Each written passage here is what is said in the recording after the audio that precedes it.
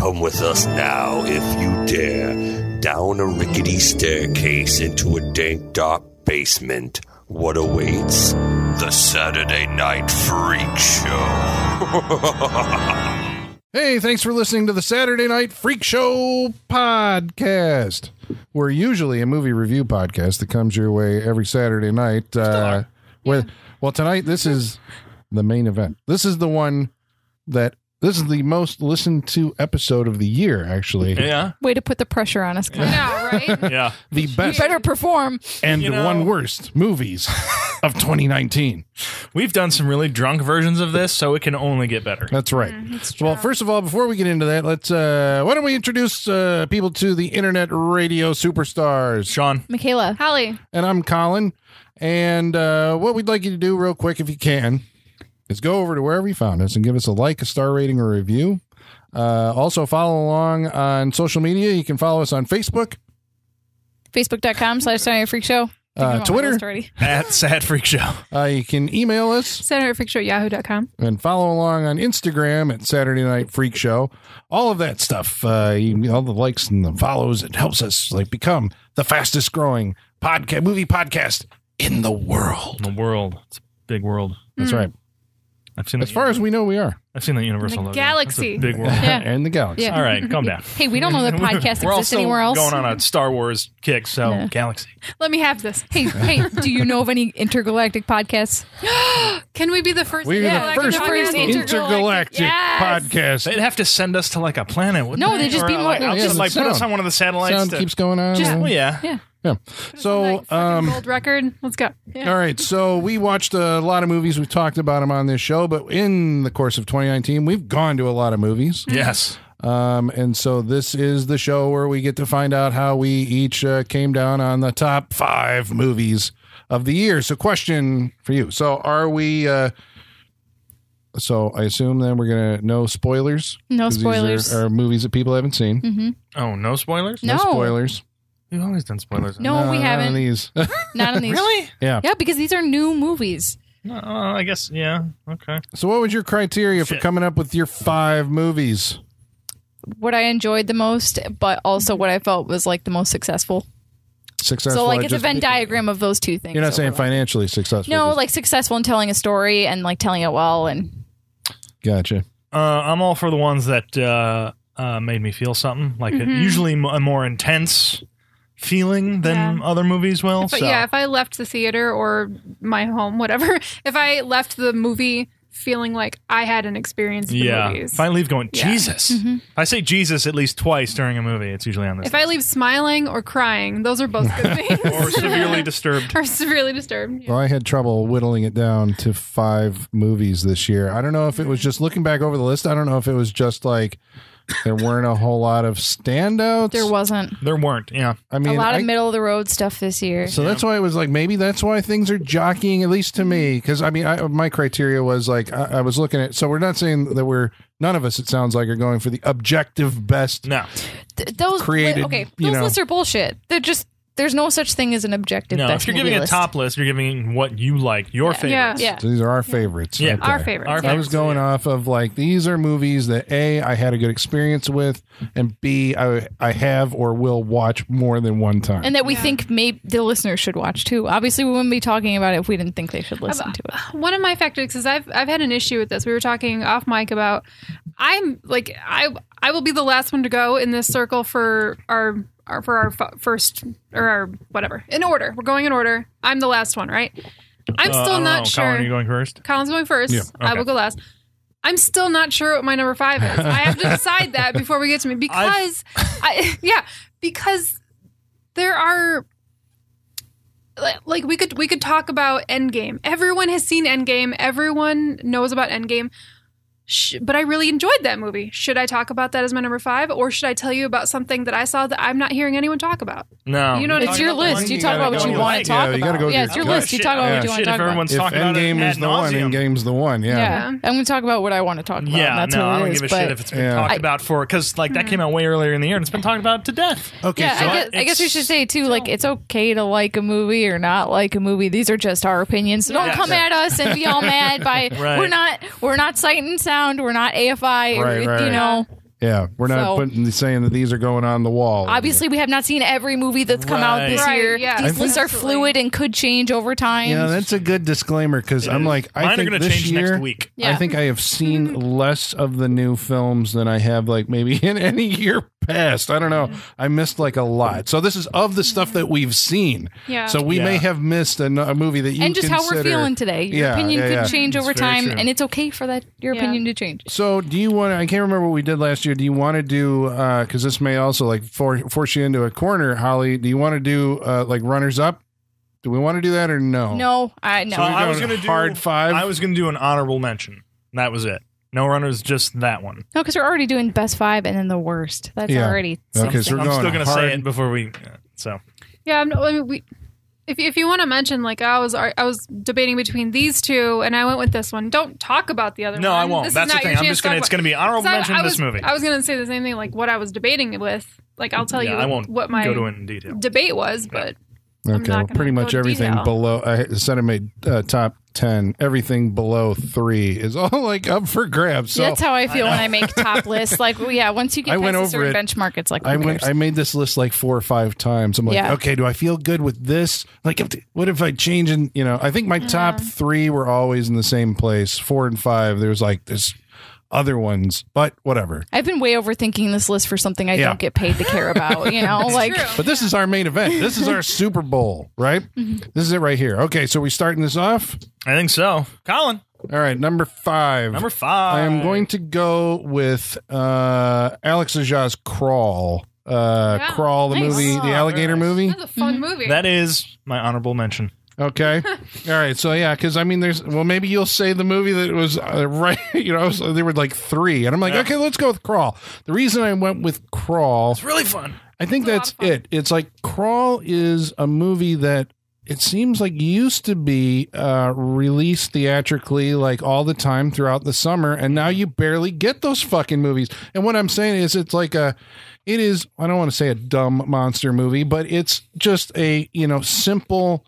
Uh, kind of little slugger of a movie that's Yeah. out there, kind of just punching its way into the theatrical marketplace, which you know you usually just don't get the. It's a Yeah. fun horror movie. Yeah, when You know? movies like this uh, you will usually be just be going like direct to VOD nowadays. Then they won't put the money behind it to put it in theaters and promote it. Yeah. So this doesn't happen a lot. Yes. I thought that like Alex Aja, I actually thought like his career was over because he did uh the what was it the something of Billy Drax or Hugo Drax or what the fuck oh yeah. Hugo, Hugo The- Drag. Yeah. no Hugo Drax is that? from Mo- uh, Moonraker.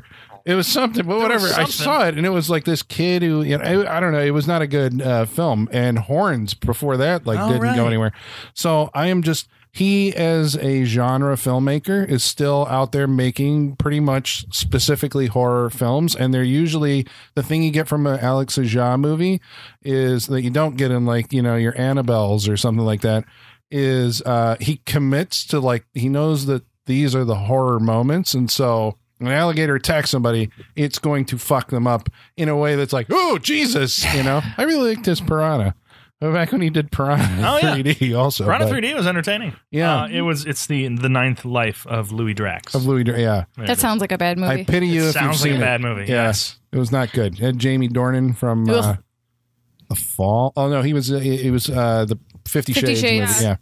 Yeah. Um. Hills have eyes, mirrors. Yeah. Well, Mirrors was Mirrors, yeah, was, uh, Mirrors was not good. I mean, if you like uh, alligator movies, and we here at the Freak Show do, We I, do would- I would indeed. recommend Do. that you check out uh, Crawl because I mean, it's like Yeah. a suspense thriller.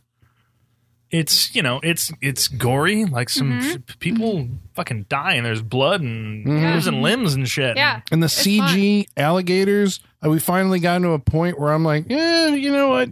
They kind of look pretty good. They're good. not bad. They're not bad. Yeah, I didn't see 47 meters down, but they, uh, even from what I saw in the trailers, I'm like, those sharks look pretty good. So maybe we finally gotten to the point where animals, CGI animals in movies are like passable. Yeah. Looks Um, wise, they got to move right though, but and they move Yeah. right in this movie. I think. Yeah. But it's a claustrophobic movie. If you haven't seen it, we're selling you on it. It's uh, basically a uh, uh, because of a hurricane in Florida, it traps a girl and her father in the basement of a house with uh, alligators. And that's really all. You That's need to really know. all all you you need to need- all know. you It's a know. high concept, High right? concept, and It's fucking cool. Yeah, what's her name? Uh, Kayla Kaya Scott- Scar- Scodelario. Scodelario. What is she else has she been in? Moon. Was she? Yeah, she was. Well, I don't want to say because it's Yeah. like a big spoiler for that Okay. movie. I like but that she's Sam in Rockwell it. movie. Yeah. Yeah. yeah, Yeah. It's a great Sam Rockwell movie. Okay. Yeah. I mean, I liked her in it. I liked uh, Barry been in a lot Pepper, of and things. basically it's a two hander between them for the most part. So, Yeah. uh, yeah, recommended. Crawl number five. Yeah, Sean. Very nice. Um, oh, it's all so fluid. Uh, all right, my number five is going to be I know. that before choice. that. Um, Sean, what's your be- number five? It's gonna be Jojo Rabbit. Okay, There you go. Number five is Jojo Rabbit. Um, uh, directed and uh, written, uh, or um, what, what do you call it? Um, It's adapted from script. Adapted, yeah, From- adapted by yeah. uh, Taika Waititi. Yeah. Um, you know him from uh, What We Do in the Shadows, Yes. Thor Ragnarok. Uh, What's a, uh, some of Eric's, uh, was it Eric's secret show or what was the thing that they, no, they did, um, Flight of the Conchords. Flight of the Conchords, yep, Mm-hmm. uh, and uh, Hunt for the Wilder People, and uh, a bunch of other stuff. Yeah. doing the new Thor and all that stuff. Um, but I think that this was a uh, uh, a very good and very funny satire. Um, if you've seen the the uh, trailers or anything for it, you know it's a satire about Nazis. And what's more fun than watching movies about in this day and age? Uh, when we're so um, uh, when you can get so upset by watching all the news and all that stuff nowadays, to watch a movie where you've got the obvious bad guys on screen, and then you can uh, uh, you know send them up, satirize them, um, and he does it so very well in this movie. He plays Hitler in that movie. He right? plays Yeah. Hitler in this movie, and it's fantastic. Um, every and all the actors in the movie are doing amazing jobs. Sam Rockwell is, I think, like he's like the ace of the movie. Everything he says is hilarious. The Freak Show notoriously on the Sam Rockwell train long Yes. before anyone else. I think so. we were on board way before so. three billboards, so you guys can all Galaxy suck Quest. it. Yeah. He's amazing. Mm-hmm. Um, Scarlett Johansson is like doing really good in this movie too. She's uh, uh, surprisingly like she's good. She's the mother in the movie. And she's always good in like Yeah, when so they is give her it good surprising dramatic. she's good in Yeah, something? yeah, Isn't yeah. she always like? no, they just they turned her into an action movie They did. hero. I haven't and seen her in like something meaty in a while. Yeah, but this yeah, is yeah. her year for like meaty good stuff. Um, but she does well in this. Everyone's like performing top notch. Um, I laughed a lot. It's a smart movie. Um, it's kind of it's a heartfelt movie as well. Um, I really enjoyed this one this year. So Jojo Rabbit is my number five. Michaela, Mm-hmm. My number five is The Mandalorian. What? It is better structured, better written, better directed than most movies I've Wait, seen this- this, how do- year. this is cheating. Is this cheating? Uh, I, I, is there rules about there not being TV shows? Sean wants to do add honorable mentions and all this other stuff on the fly. This is movies. My number five is The Mandalorian. Okay, if The Irishman runs for three and a half hours, The Mandalorian's at like four and a half right now. Cheating. So if you can make a three and a half hour movie on Netflix versus a four and a half hour TV show that I think actually works as a movie, if you watch know. it Can we at once. disqualify a member of the podcast from saying the rest of their movies? I don't know. movies. I say movies, but uh, we're in the Wild West Yeah. now. So Michaela's in the like the best entertainment experience of the year. I, I enjoyed watching The Mandalorian more than I enjoyed watching most movies this year, and I think more people should watch The Mandalorian than a lot of the stuff that came out Okay, this but year. we're disqualifying video games, right? Are we drawing the line at video games? Yeah, where's the yeah. line here? Well, yeah, 'cause Yeah. Video, yeah, video games is the line. Resident Evil 2 is pretty great. Yeah, I know. Resident Evil 2, number 5. Okay. I, I wouldn't care if you did that. I would not care. It doesn't matter to me.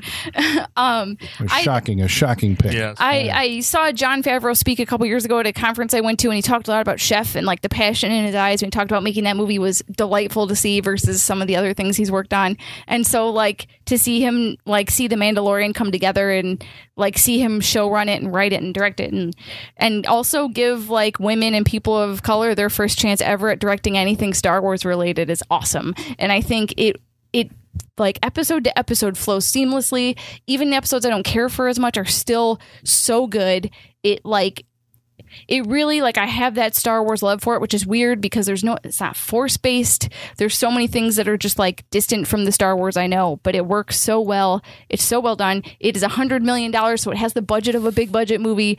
So it like for all intents and purposes, The Mandalorian is a movie to me, and I fucking love it, and I cannot wait. I think that with how the fan base has been reacting to the most recent Star Wars properties, I think that going forward, they're going to look to The Mandalorian and see what it did successfully, and that's going to shape the rest of the Star Wars properties we get.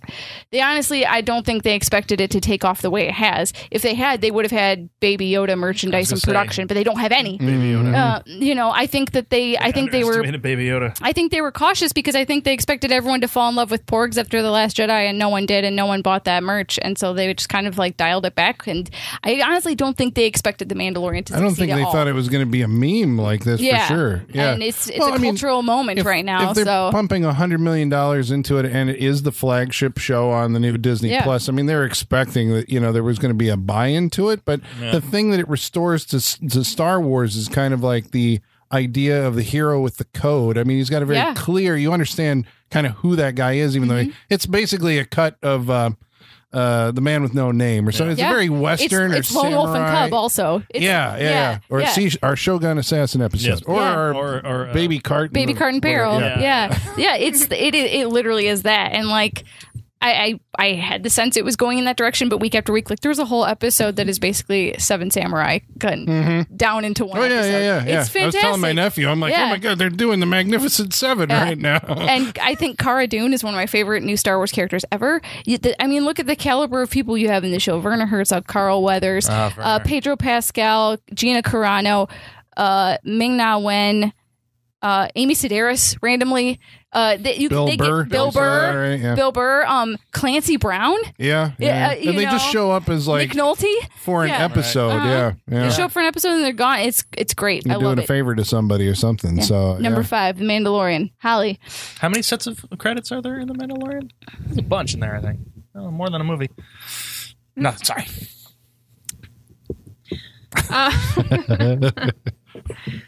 Uh, my number five, I, I was, I've been debating, I've, I've been debating back and forth. I, I, I mean, I really did enjoy Endgame a lot, and that's been wavering on my my list. Um, and you know, we all just went and saw Rise of Skywalker, and I really enjoyed that, and that's been wavering on my list. But I think I'm gonna go with uh, a movie called The Highwaymen. Uh, it's on Netflix with Kevin Costner, Woody Harrelson. Did you see it? I haven't seen it. No, No, I haven't seen it either. I loved it. I haven't really heard anyone talking about it, and I really enjoyed that movie. It is very much a western. It is. It, Cool. is it a modern day? It's well. It's It's like um, mob, isn't it? It's mob the, it's the detectives who caught Bonnie and Clyde. Yeah. oh, And but it's Ooh, cool. It is a western through and through. It feels uh, it, it's got that wonderful feel. So it's a little slow paced like a western, but it's beautifully shot. It's so gorgeous, and it, ha- it has a fresh angle on this famous story. You know, we all have heard Bonnie and Clyde, and we've seen Bonnie and Clyde, but this is solely about like you barely see Bonnie and Clyde in the movie. Like that, you do see them, but it's it is about the detectives who hunt them down, and it's it's so wonderfully it's so wonderfully written. The characters are very they're very uh, dimensional. They've they've got a lot of depth to them, but they're really simplistic. Um, it's you know Kevin Costner's the straight laced like cop doing his job. You know Woody. Woody Harrelson has the the comedic vibe, but they have such great chemistry together, and it it. It's like it's it's a buddy cop without being a buddy cop film. Like like I said, it's a western, um, and it's it it gets it gets really in depth with these characters and these like specific moments that just make you feel something like there's a fantastic moment when they're they're in their hometown and Kevin Costner's character is having a conversation with Clyde's father and he has this moment they're they're both sharing these really intimate stories with each other even though the man knows that he's hunting his son they're sharing these really beautiful intimate stories with each other just about their own lives. Like Kevin Costner shares a really personal story that you know he's never told anybody. And it's just really deep and intimate and it's and there's this moment when he looks at him and he's like, "I don't think you're hearing me, sir. I want you to catch my boy." And it's just like heart-wrenching. It's it's amazing. And there's these these moments of like humanity that are really disturbing like like at the end they're towing the car through the town after they've been caught obviously we know they get caught i'm not that's not a spoiler God damn it, Holly. we know. We know. We know. Um, but they're towing the car through the town after At least they got all- captured alive. it's been all shot up, you know, whatever. And there's just hordes of people, and it's just this disgusting moment that everyone's just like pawing at the car. And Woody Harrelson and Kevin Costner are just like thoroughly disgusted by everything they're seeing. You know, it's just they're like, "Where's the humanity right now? This is disgusting." And I don't know. There's just some real depth to it, and I'm surprised that people aren't talking about it. I thought it was a really fantastic. You said it was a Netflix movie? It's a Netflix movie. That's why people aren't talking about it. I know, I know. It did have a small theatrical release, you know, uh, some in a few theaters, but yeah, it's a Netflix movie. I think it's fantastic. I think you should check it out. Highwayman. Five. Netflix. Yeah. Both Why the do you hate it greatest. so? Well, I mean, it's great that you know movies like The Highwaymen, which didn't get financed by a major company, do get to get made. But at the same point, it's like they come out, and then a week later, something else has come out, or three more things have Yeah, come out, and true.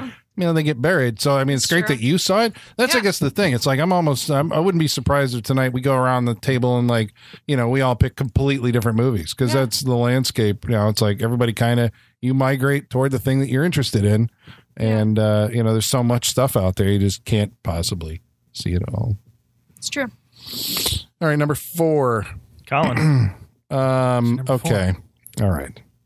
No, I mean I guess I can defend this movie. No one's attacking you. No, I know, but uh, Yeah. like I feel like you got to put something up. If you're I feel like yeah, I feel like when you're you, when you're choosing the best movies of the year, right? It's like, hear me out. Yeah.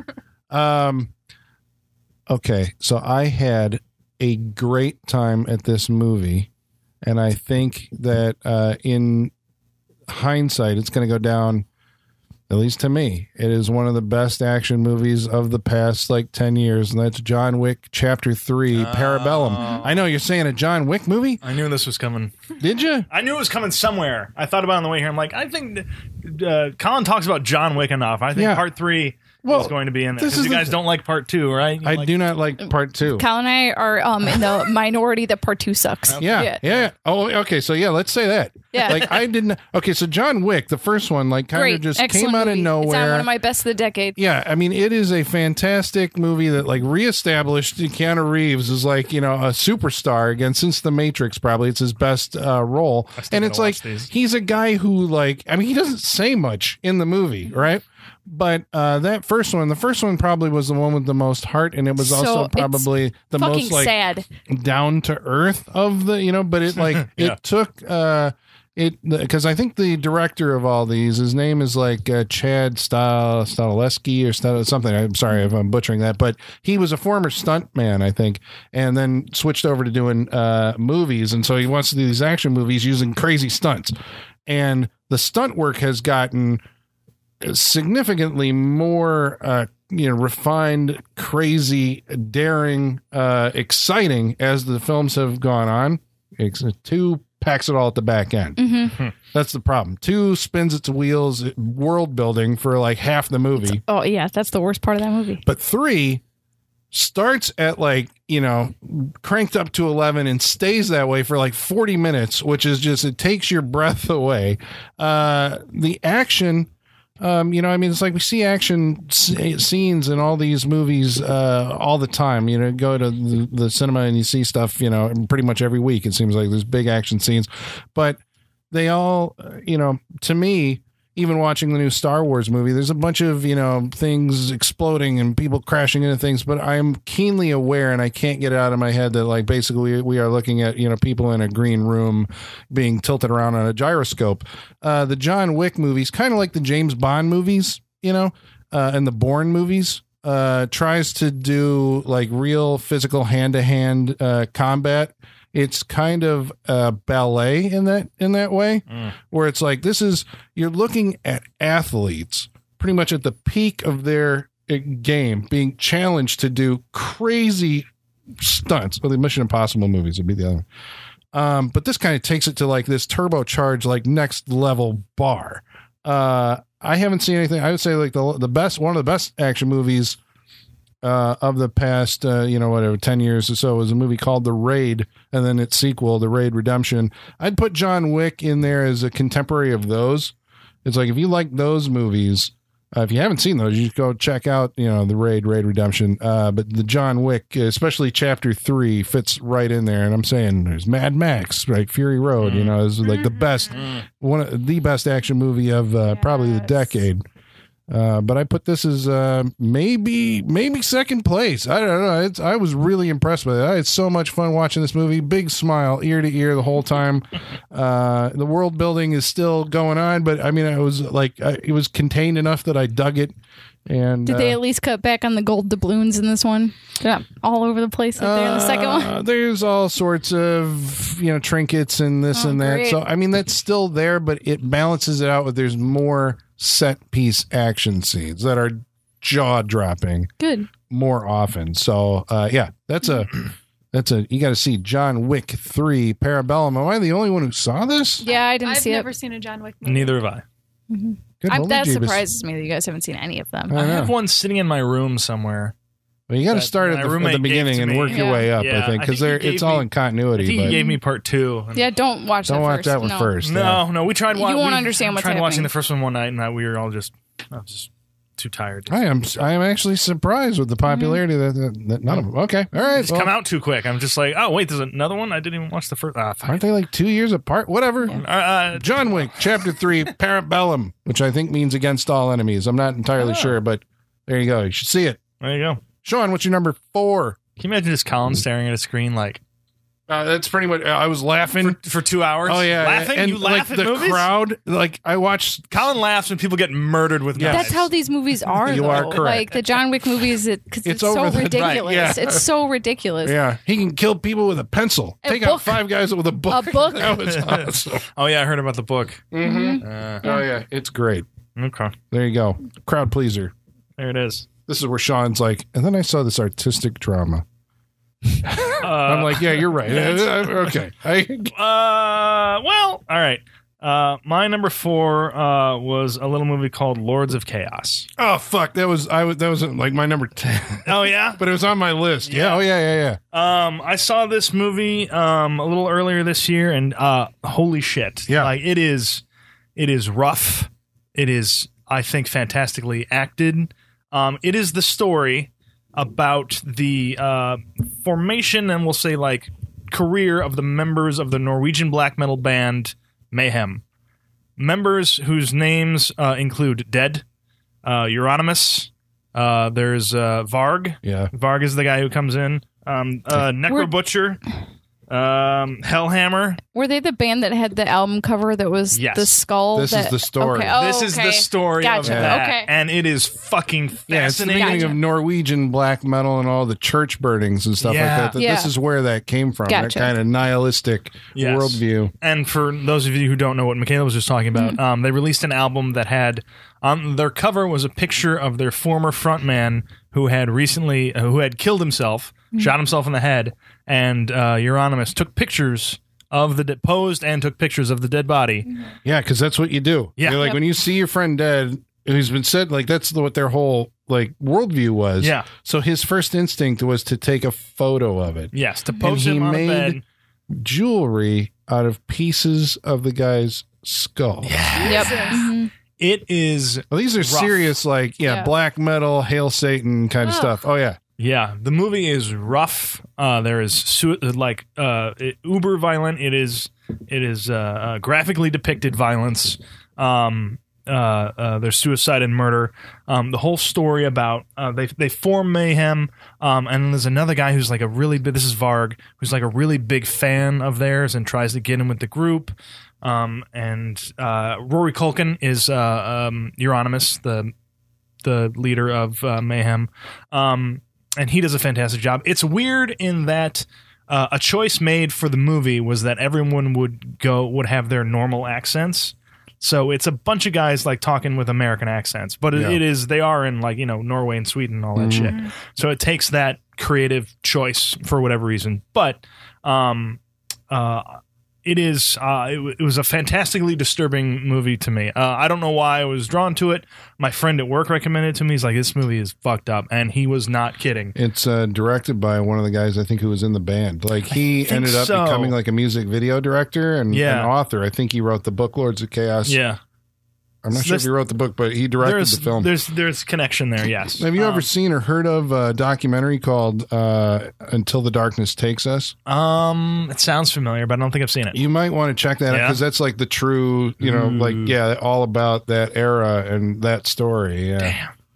Yeah, Um, black metal. I actually like black metal. You like black metal? It was I w- I didn't mind like listening to Yeah. what was in the movie. I'm like, all right, this, this is cool. I can dig this.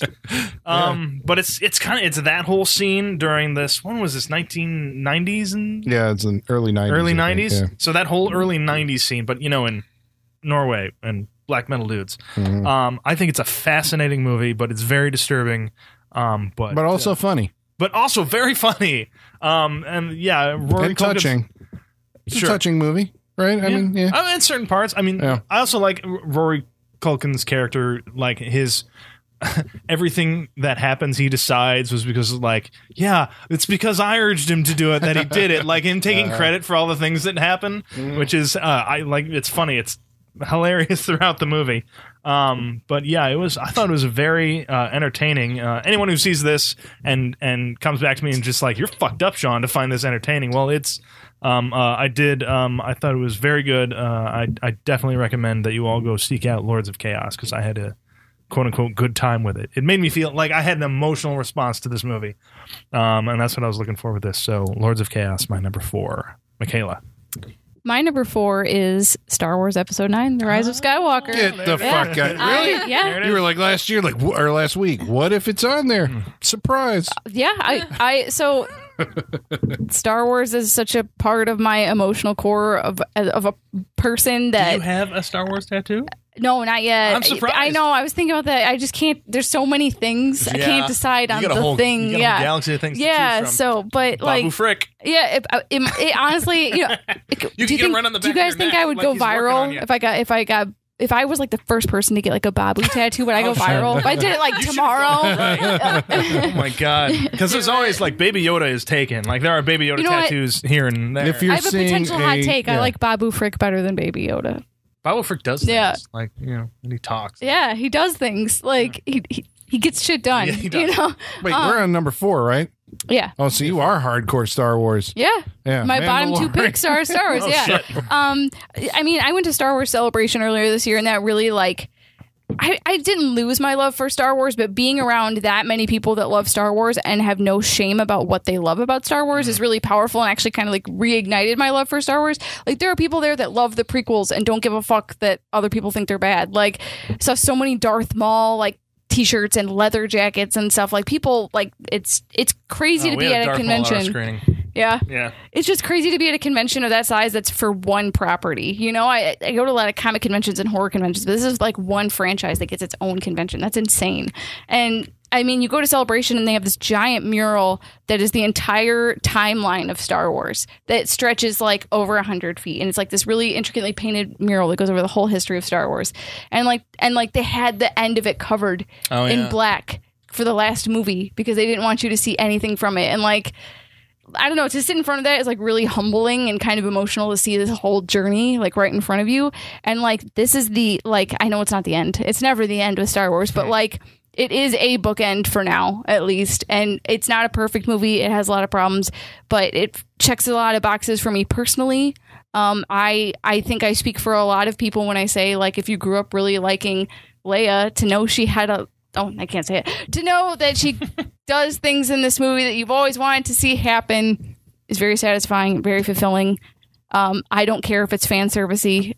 I liked it, and I think it's worth watching.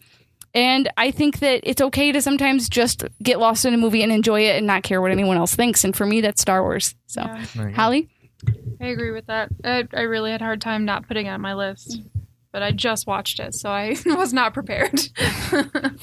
um, my number four is a movie that recently came out uh, called Knives Out. Mhm. I Ooh, I was on my. is- Yeah. That's another one I had. Oh, on I was my gonna say, you know, this feels like that was at least in Colin's. top I think that was that was jockeying for my crawl. Yeah. Yeah. All right. I really, really enjoyed Knives Out. It's a classic whodunit, and it's that I love a murder mystery. It's like a modern day Clue. It's just, it's so enjoyable. You know when they were Um, saying that there hasn't been like a murder mystery on screen like this in a while, Did, did that like? I mean, because they're saying that, but I'm like, Yeah. what? The, I mean, there was the Hateful Eight. I suppose was like maybe the last. I mean, uh, so that- that wasn't specifically an Agatha Christie Yeah. Murder on the Orient Express kind of thing. Yeah.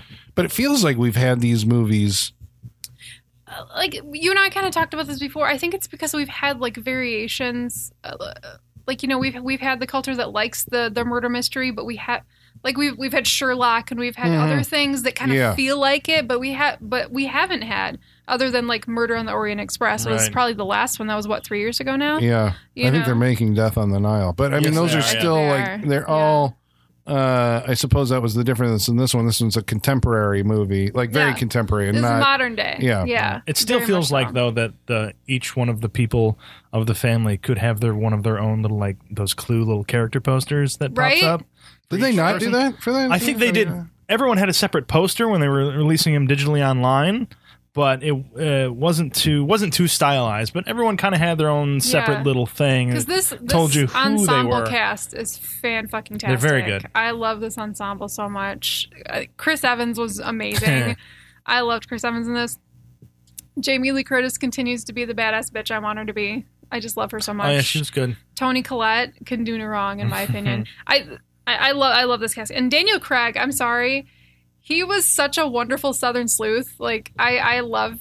I, I don't know. I, some people said that they don't love his his accent. I think it's fantastic. I think it's it's hilarious. I I don't know. I love It's it. even more extreme than uh, what he did in uh, Logan Lucky. Logan Yeah. Lucky. Yeah, Yeah, it so that's like that's what you can Foul do. yeah, Because this was like this was like that like rich Georgia accent, Yeah, you know. like, I have eliminated no suspects. yeah, Mhm. but for an so- English guy, like it seems like good. sometimes. You know, if they have, uh, you know, like sometimes they have a problem with like Yeah. American accents, but to be able to, he can do Southern, yeah. you know, For- pretty well. Yeah, and for that part, it's it's so perfect to have it that like Georgia accent. It just works. Um, and um, What do we say what the movie's about? Everybody knows. yeah, it's It's about Yeah. cable knit sweaters. Colin. some. Did really y'all buy stock in cable knit sweaters. sweaters after this movie? I have a couple. because apparently it went up.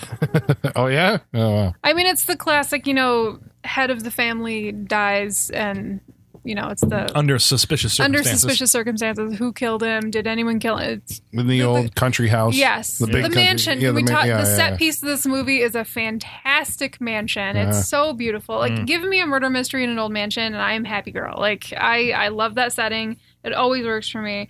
Um, there was a lot of precision in the details of this movie that I think flowed really well because I, I I I think that it it could have been a slow movie, but I thought it was very it was well paced. Like it, it had my attention the whole time. Mm. Um, but the details were very were very well thought out. Um, I think Rian Johnson did a great job in this. I was a little bitter with Rian for a while Mhm. for obvious reasons, but I think he did a really great great job with this. Yeah, It- this is it, playing to his strengths. Yes, it really was. so. It really was. I wasn't really surprised by any of the plot reveals, but Mm. um, it was still executed in a manner that I thought, um, even though it didn't, it didn't feel too predictable. Even though it wasn't a surprise, it didn't feel too predictable to me.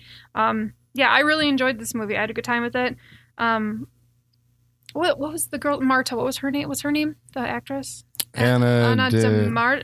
De, Yeah. What is her name? De she was Arma. in. Anna de Arma. That's yeah, it. Yes. she's in Yeah. Blade Runner 2049, and she was in. She's in the new uh, Bond. the new James She is, Bond. yes. Yeah. I thought she was delightful. She's great. her character. yeah, yeah, yeah. is She's so awesome. I was yeah, and it's very like she's got an emotional like. like that innocence core she of brings to it. Yeah. Like it's Oh, it's such and a great the character. tick, which we won't reveal We here, won't but she's got reveal a it, tick, Her tick which is Oh, fucking yeah, hilarious. hilarious. yeah. It's hilarious. But yeah, I, re- I really enjoyed Knives Out. It's a great movie. Yeah, it's sure. a crowd pleaser. It is yes, very much so. Knives Out number four. yeah, it definitely deserves to be in a top uh, top five list. I Yes. so. Did you happen to see what uh, they were showing some of the ways that the uh, cinematographer and gaffers were lit scenes for the movie? And so they had special rigs Mm-hmm. because there's a lot of characters in the movie who wear glasses. Yeah. And so they wanted to, uh, and they were purposely getting the reflections of everything. But so there's light kits set up that have, um, uh, like it's like the the light was coming in from a window, so they have a window pushed in on them with a light right behind it, Hmm. so that when you do get the reflection, it looks like it's coming from the window. But that's just Oh, the light setup, fantastic. like Yeah. right over the camera and everything. And they would do that for all the shots with Yeah. everything, glasses and everything.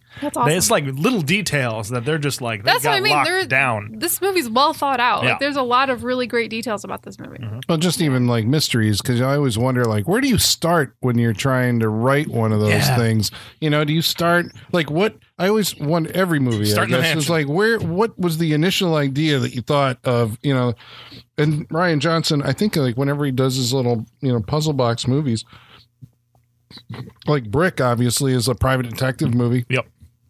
This is the uh, you know Agatha Christie uh, movie, and what would you call Looper? It's not really a. I mean, but it's twisty in time, Well, so yeah. it's kind of revealing. it's a time things. heist. Yeah. Yeah, and so it's a heist movie, I Yeah. suppose. But it's it's still there's things to be revealed, you know, throughout Yes. the movie. Yeah. Yeah. Uh, wow, we're on number three already. We're Yep. moving Number through three. this like really fast. We are. That's because we all have different movies. yeah, maybe. Usually, we've we've come across ones where we've it's been similar picks, uh, and we've discussed them more at length. Now it seems it's pretty varied on what movies uh, kind of floated our boats. this Yeah, year. I guess. All right. Well, There it is. uh, number three uh, was uh, not a good uh, feeling that I had at the movies, Oh. but it was uh, an experience. It was uh, Ari Aster's Midsommar. Uh, Uh, which even though like okay, so here's the thing. I guess that I mean I'm going to mention a movie, which is uh, it's not really spoilers. I don't think at this point. Either you know what this is or you don't. But Mm. uh, I mean, there's been a lot of comparisons to this movie and The Wicker Man. yeah. Um, it's like the Swedish Wicker Man. Um, but the so it's a if you don't know what it is, it's a, a group of uh, college friends uh, go to Sweden for a uh, to you know hook up with this um, like um, I don't know, it's a pageant or something that's happening in this little festival. commune, a festival. festival, But the It's main dynamic of it is that there's a girl who experiences uh, a, a loss, uh, you know, a personal loss at the beginning of the movie. A and, heavy and- fucking trauma. we yeah, could say. yeah, Oh Jesus! I mean, that was like Jesus. yeah, one of the most shocking things I think that An I Ari saw Aster this movie year. that's based around trauma. Yeah, Can't yeah. imagine that. Well, this is what this guy does. I mean, he's got a lock on this kind of, uh, you know, because uh, he did Hereditary, uh, you know, which uh, I think was on our top Number uh, two last yeah, year. Yeah. was that last year? On yours, not ours. Uh, right. Well, I think uh, Sean and I mine. that one. Last Right? year, yeah, it was number two because Mandy was our number one. Yeah, that's right. Okay. Yeah. Um, but yeah, it uh, it. I don't think that Midsommar is as good. Uh, am I saying that right? It's Midsommar. Midsommar.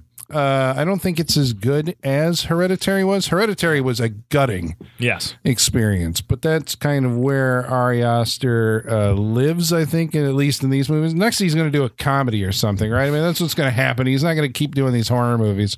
I don't know. He likes to show naked old ladies. So as He long as he can really show does. naked old ladies, I think that's all yeah, he cares about. I think. Well, he's working on like things that are burlesque movie. taboo. You know. Yeah. Uh, a lot of what he does is, I think, like crossing taboo lines. Uh, but that's what kind of makes his movies feel dangerous in a way. Um, and I think maybe that's what I'm drawn to. And you know, I mean, there's a formal stylism, stylist to style stylism. That's not right. A style. A style. Thank you. yeah, to his movies where it's like uh, uh, I hadn't seen the compositions that he manages in this like done uh, in a whole lot of things where you would basically like you know set up a fairly wide. It's kind of like an old school, old school like a, a classic painting or something where he would set up a frame and then have different focal points. Within Yes. the frame is something like that's happening up in a corner in the distance, and something that's happening. They do look like in the- paintings. yeah, You yeah. are correct. Yeah. Um I mean, I think, you know, basically it feels like the conclusion of the movie is going to be a, you know, is foregone, but the dynamic between uh Florence how do you pronounce Yeah. Who I think is a, a to me was a discovery in this movie. Like she was a revelation. I'm like she's great, and then she's going to be in the Black Widow movie. She's in Little Women. Uh, Yep. She was in Fighting with My Family, the WWE movie that, that I wanted to see but never did. Oh, she's good. yeah, It's a good movie. Yeah, it's a pretty good movie. yeah, because I mean, she was She's like good. extremely compelling in this. I don't know what the the guy's name was who was the uh, the boyfriend, but like, Yeah. I mean, that's the thing. It's like I shared both of their perspectives at some point in the movie. So I mean, uh, Aster does kind of play fair with because he is like trying to break up with her, Mm. and because of her loss, you know, he's like, okay, fine, you can come with me, and it's just like this is the breakup movie. So I mean, I think you're supposed to feel bad, you know, Right, during yeah. uh, this movie, Because but you're just sitting there watching, going like, "Well, nobody's winning in this." Shit. yeah, yeah, yeah, and it's all Everyone's it just miserable. keeps getting worse. But I mean, as a horror movie, I think you know when I look back on the year, I was like, "There's nothing like in this kind of like serious uh, gut punch of a horror movie." Uh, Midsommar was it for me. I think like I think it's the best horror movie of the year. Not saying the most fun, but I think it's the best. I think it's probably the one that will. I think uh, that I'll watch the most and that will stick around the longest. So there you go. That's number three. Sean, what was your number three? There we go. Um, number three. It's been mentioned here a couple times, and I'm I'm gonna put it out there as being on my list. Uh, Avengers Endgame. Uh, it is number three for me. Um, there is, there is, I think, no other movie that I have gone back to and watched more than this movie this year. Um, this movie for me had uh, to me, it was the emotional payoff to 10 years of being invested in all the Marvel movies. And now, say what you want about the Marvel movies. Some are way better than others. Some are really just setups, like for the bigger team up movies. That happens uh, a few times throughout their um, throughout this 10 year cycle. But Avengers Endgame paid off so much stuff for me and had so many really great uh, emotional moments, moments where you're just sitting there uh, cheering, um, really like sad moments, you know, with characters you've been with for 10 years. Um, you're losing them or having to say goodbye. Um, everything to me felt like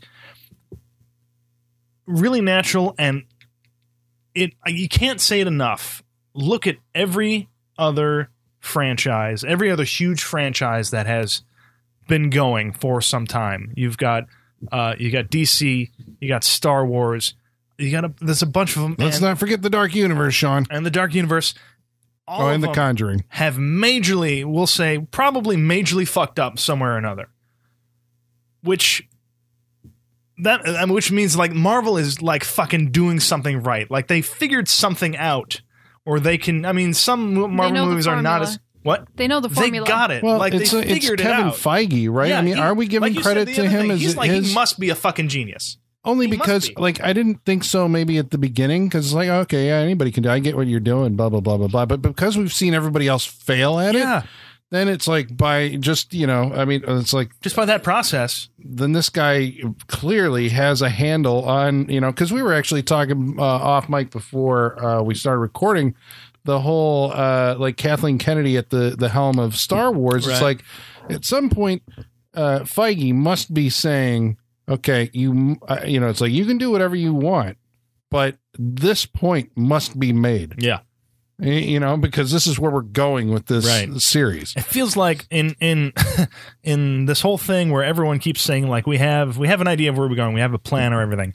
I don't think they do because I'm looking at Marvel doing it, and they must have like like you said, you can do whatever you want. You got to hit this point. They must have this shit locked down. But a lot of that's probably it could be because like that it did exist in like the comics, so Sure. they did have like you know there was an outline of the story that was already there, right. But to You know what I mean? cohesively get there, Yeah. Yeah, because they, they changed a shitload. But, Yeah. you Oh, know, yeah. yeah. the broad strokes they knew I was like, Thanos. 'cause, I mean, DC's not doing it.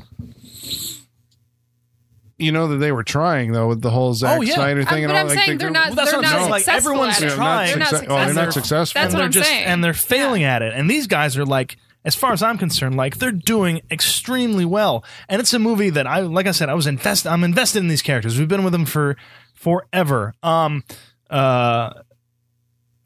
Uh, I love the characters. I love the situations. Again, the history that is with these characters and with these actors, it like it shows up on screen. And so when you know, um, when characters are reunited after being apart forever, you feel like like you can feel what's happening between them, and it feels very real. Um, uh, say what you will about like certain plot elements of this movie, uh, time travel and whatnot, it gets a little sticky. That's fine.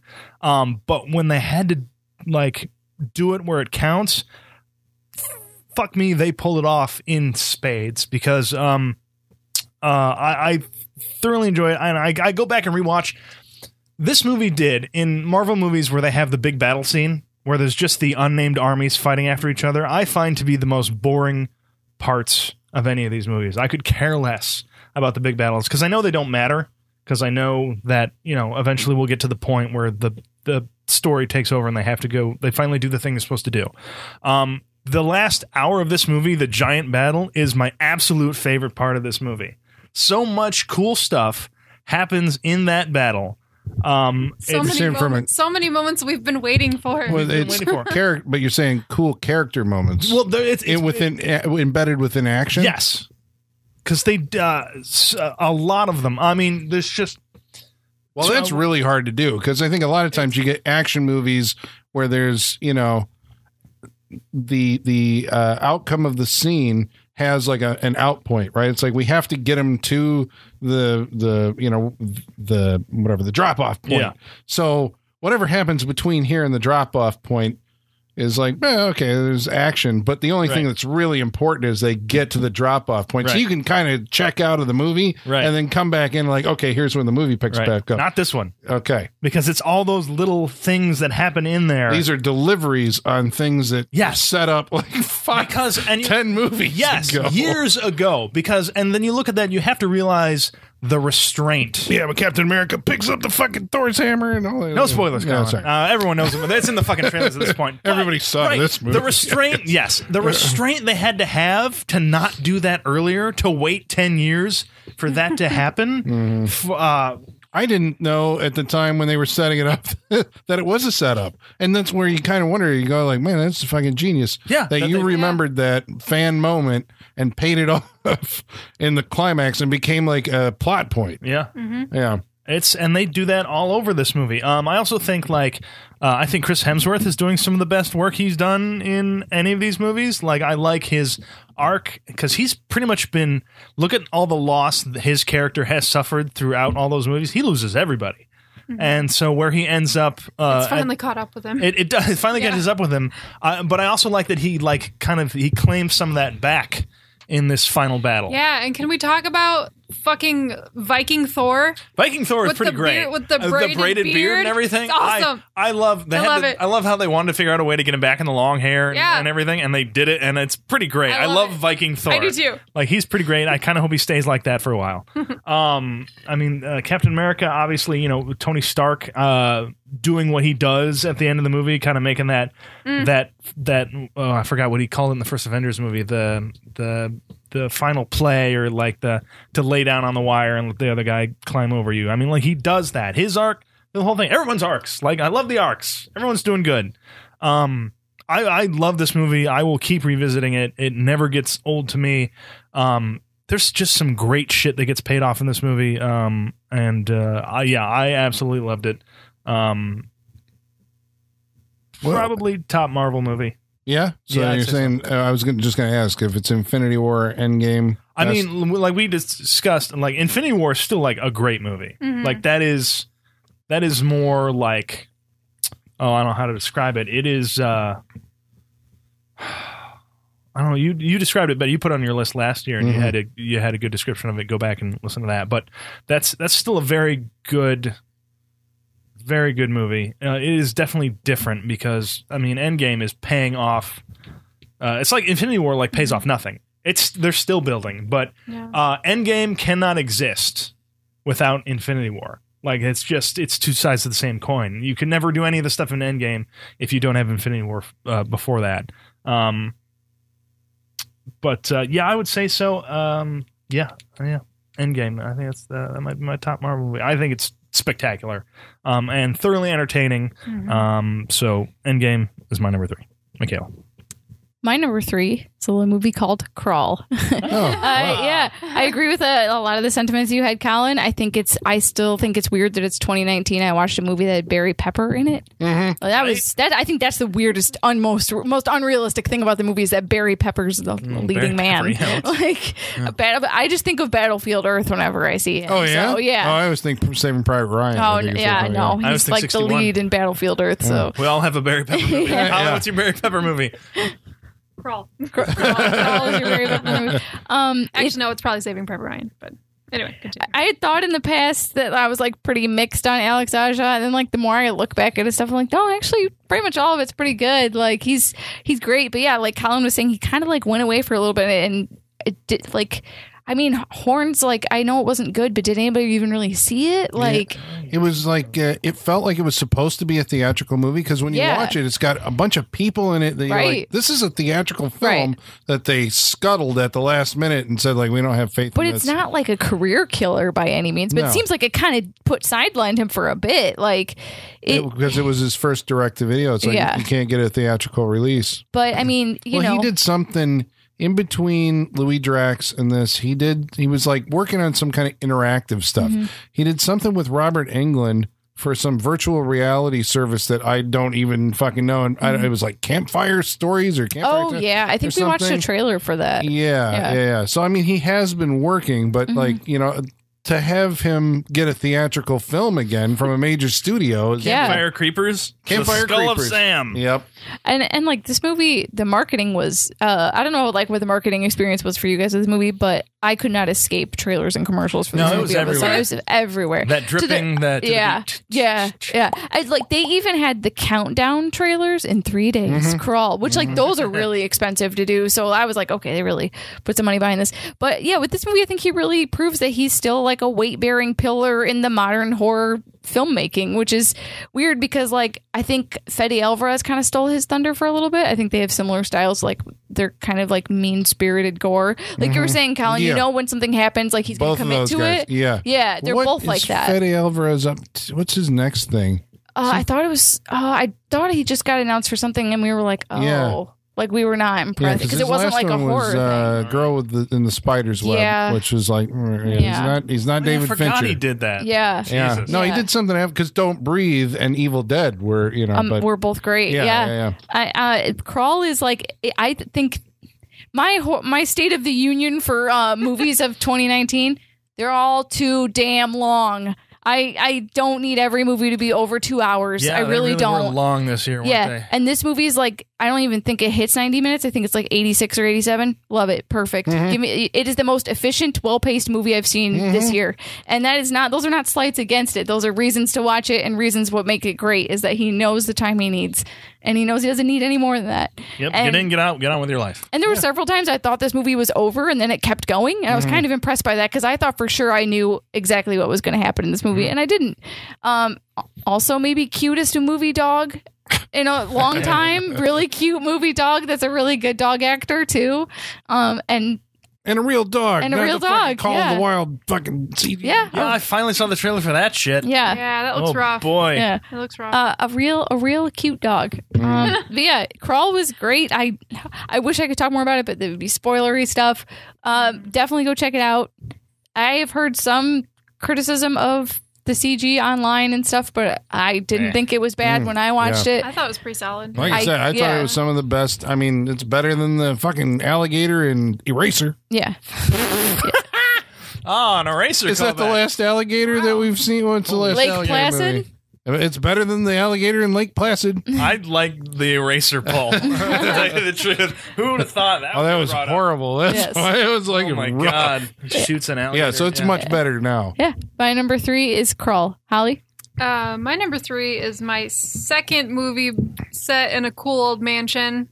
We're going with Ready or Not. Oh, that was another one that was jockeying Yes. for. for Yeah, that one's man. If we had a top ten, a lot of these would be getting in there. Yep. I loved Ready or Not. It was such a fun movie. It combines horror and comedy in just the best way. It it it, it ticked all the boxes for me. It's it, it's so great. Samara Weaving's character is so fantastic. She's tough as hell. She's she plays it with such tenacity. Like I love her character. It's it's so wonderful. Um, She's just fun to watch. Like she watch is fun. act. Yeah, she is fun to watch. A lot of people mistake her for Margot Robbie. Well, I, my first thought was, why is she Yeah. not playing Harley Quinn? Right. Yeah, I think she'd be better. She has naturally cartoonish features. She Her really eyes are does. gigantic. She has. She looks like a cartoon character. She was in a movie called The Babysitter, which was on, McG uh, movie? Yeah, but it was on. Net- That was a pretty good movie. Like you should go check that one out. It's a Netflix original. Uh, held hostage by Netflix. All right. She was also. Oh, are we in, starting uh, a beef with Netflix now? Colin, Colin is. Colin is a. Uh, I don't have that doesn't- many problems with Netflix. No. I know. I just, I Netflix. fucking, the fact that the, the, I think it's just that movies like The Babysitter, which are good, nobody's fucking heard of it because they heard about it. You either hear about it for a week and then it disappears and then you can't get it on any other platform. Yeah, Yeah. that is holding it hostage, I think. Maybe, yeah. Yeah. I don't have Netflix. I canceled it, so now I can't see half the Did shit. you? that's Well, there you go. Well, yeah, because like everything that they put on there now is like stuff that wouldn't get, a, you know, an actual theatrical I mean, release. you're not gonna So you watch watched Don't The Fuck with Irishman and Cats? then you said, I'm done with you. yeah, Is that what I'm done happened? with you. Yeah, I'd Yeah. be done after the Irishman too. The Irishman was what pushed Colin How to break else up with we see Netflix. it? Yeah. All right. Um, yeah. So, uh, ready or not, about a uh, a young couple, newlywed couple, that they are at his his family's mansion for their wedding, and upon their wedding night, uh, family tradition, they have to play a game. They uh, Because they're the the, Yeah. the family is a, a, a mogul of board games. mogul and- of board games. yes. Yes. So games are part of their blood, and Mhm. they have to choose a game from a box, a very special box that, that we get into later. Um, and depending on what game is pulled, um, well, the bride has to play. That's the rule, and it's it's come to fruition that she picks the one game that she shouldn't have picked. Yes. hide and seek Yes. um, because she's not only hiding and seeking, but she's actually like hiding for her life. Yes. Because if she is found, they are going to murder her based on a family curse and tradition. Mhm. He's like, what do I have to? Stay hidden till dawn? yeah, no, thank you. fun stuff.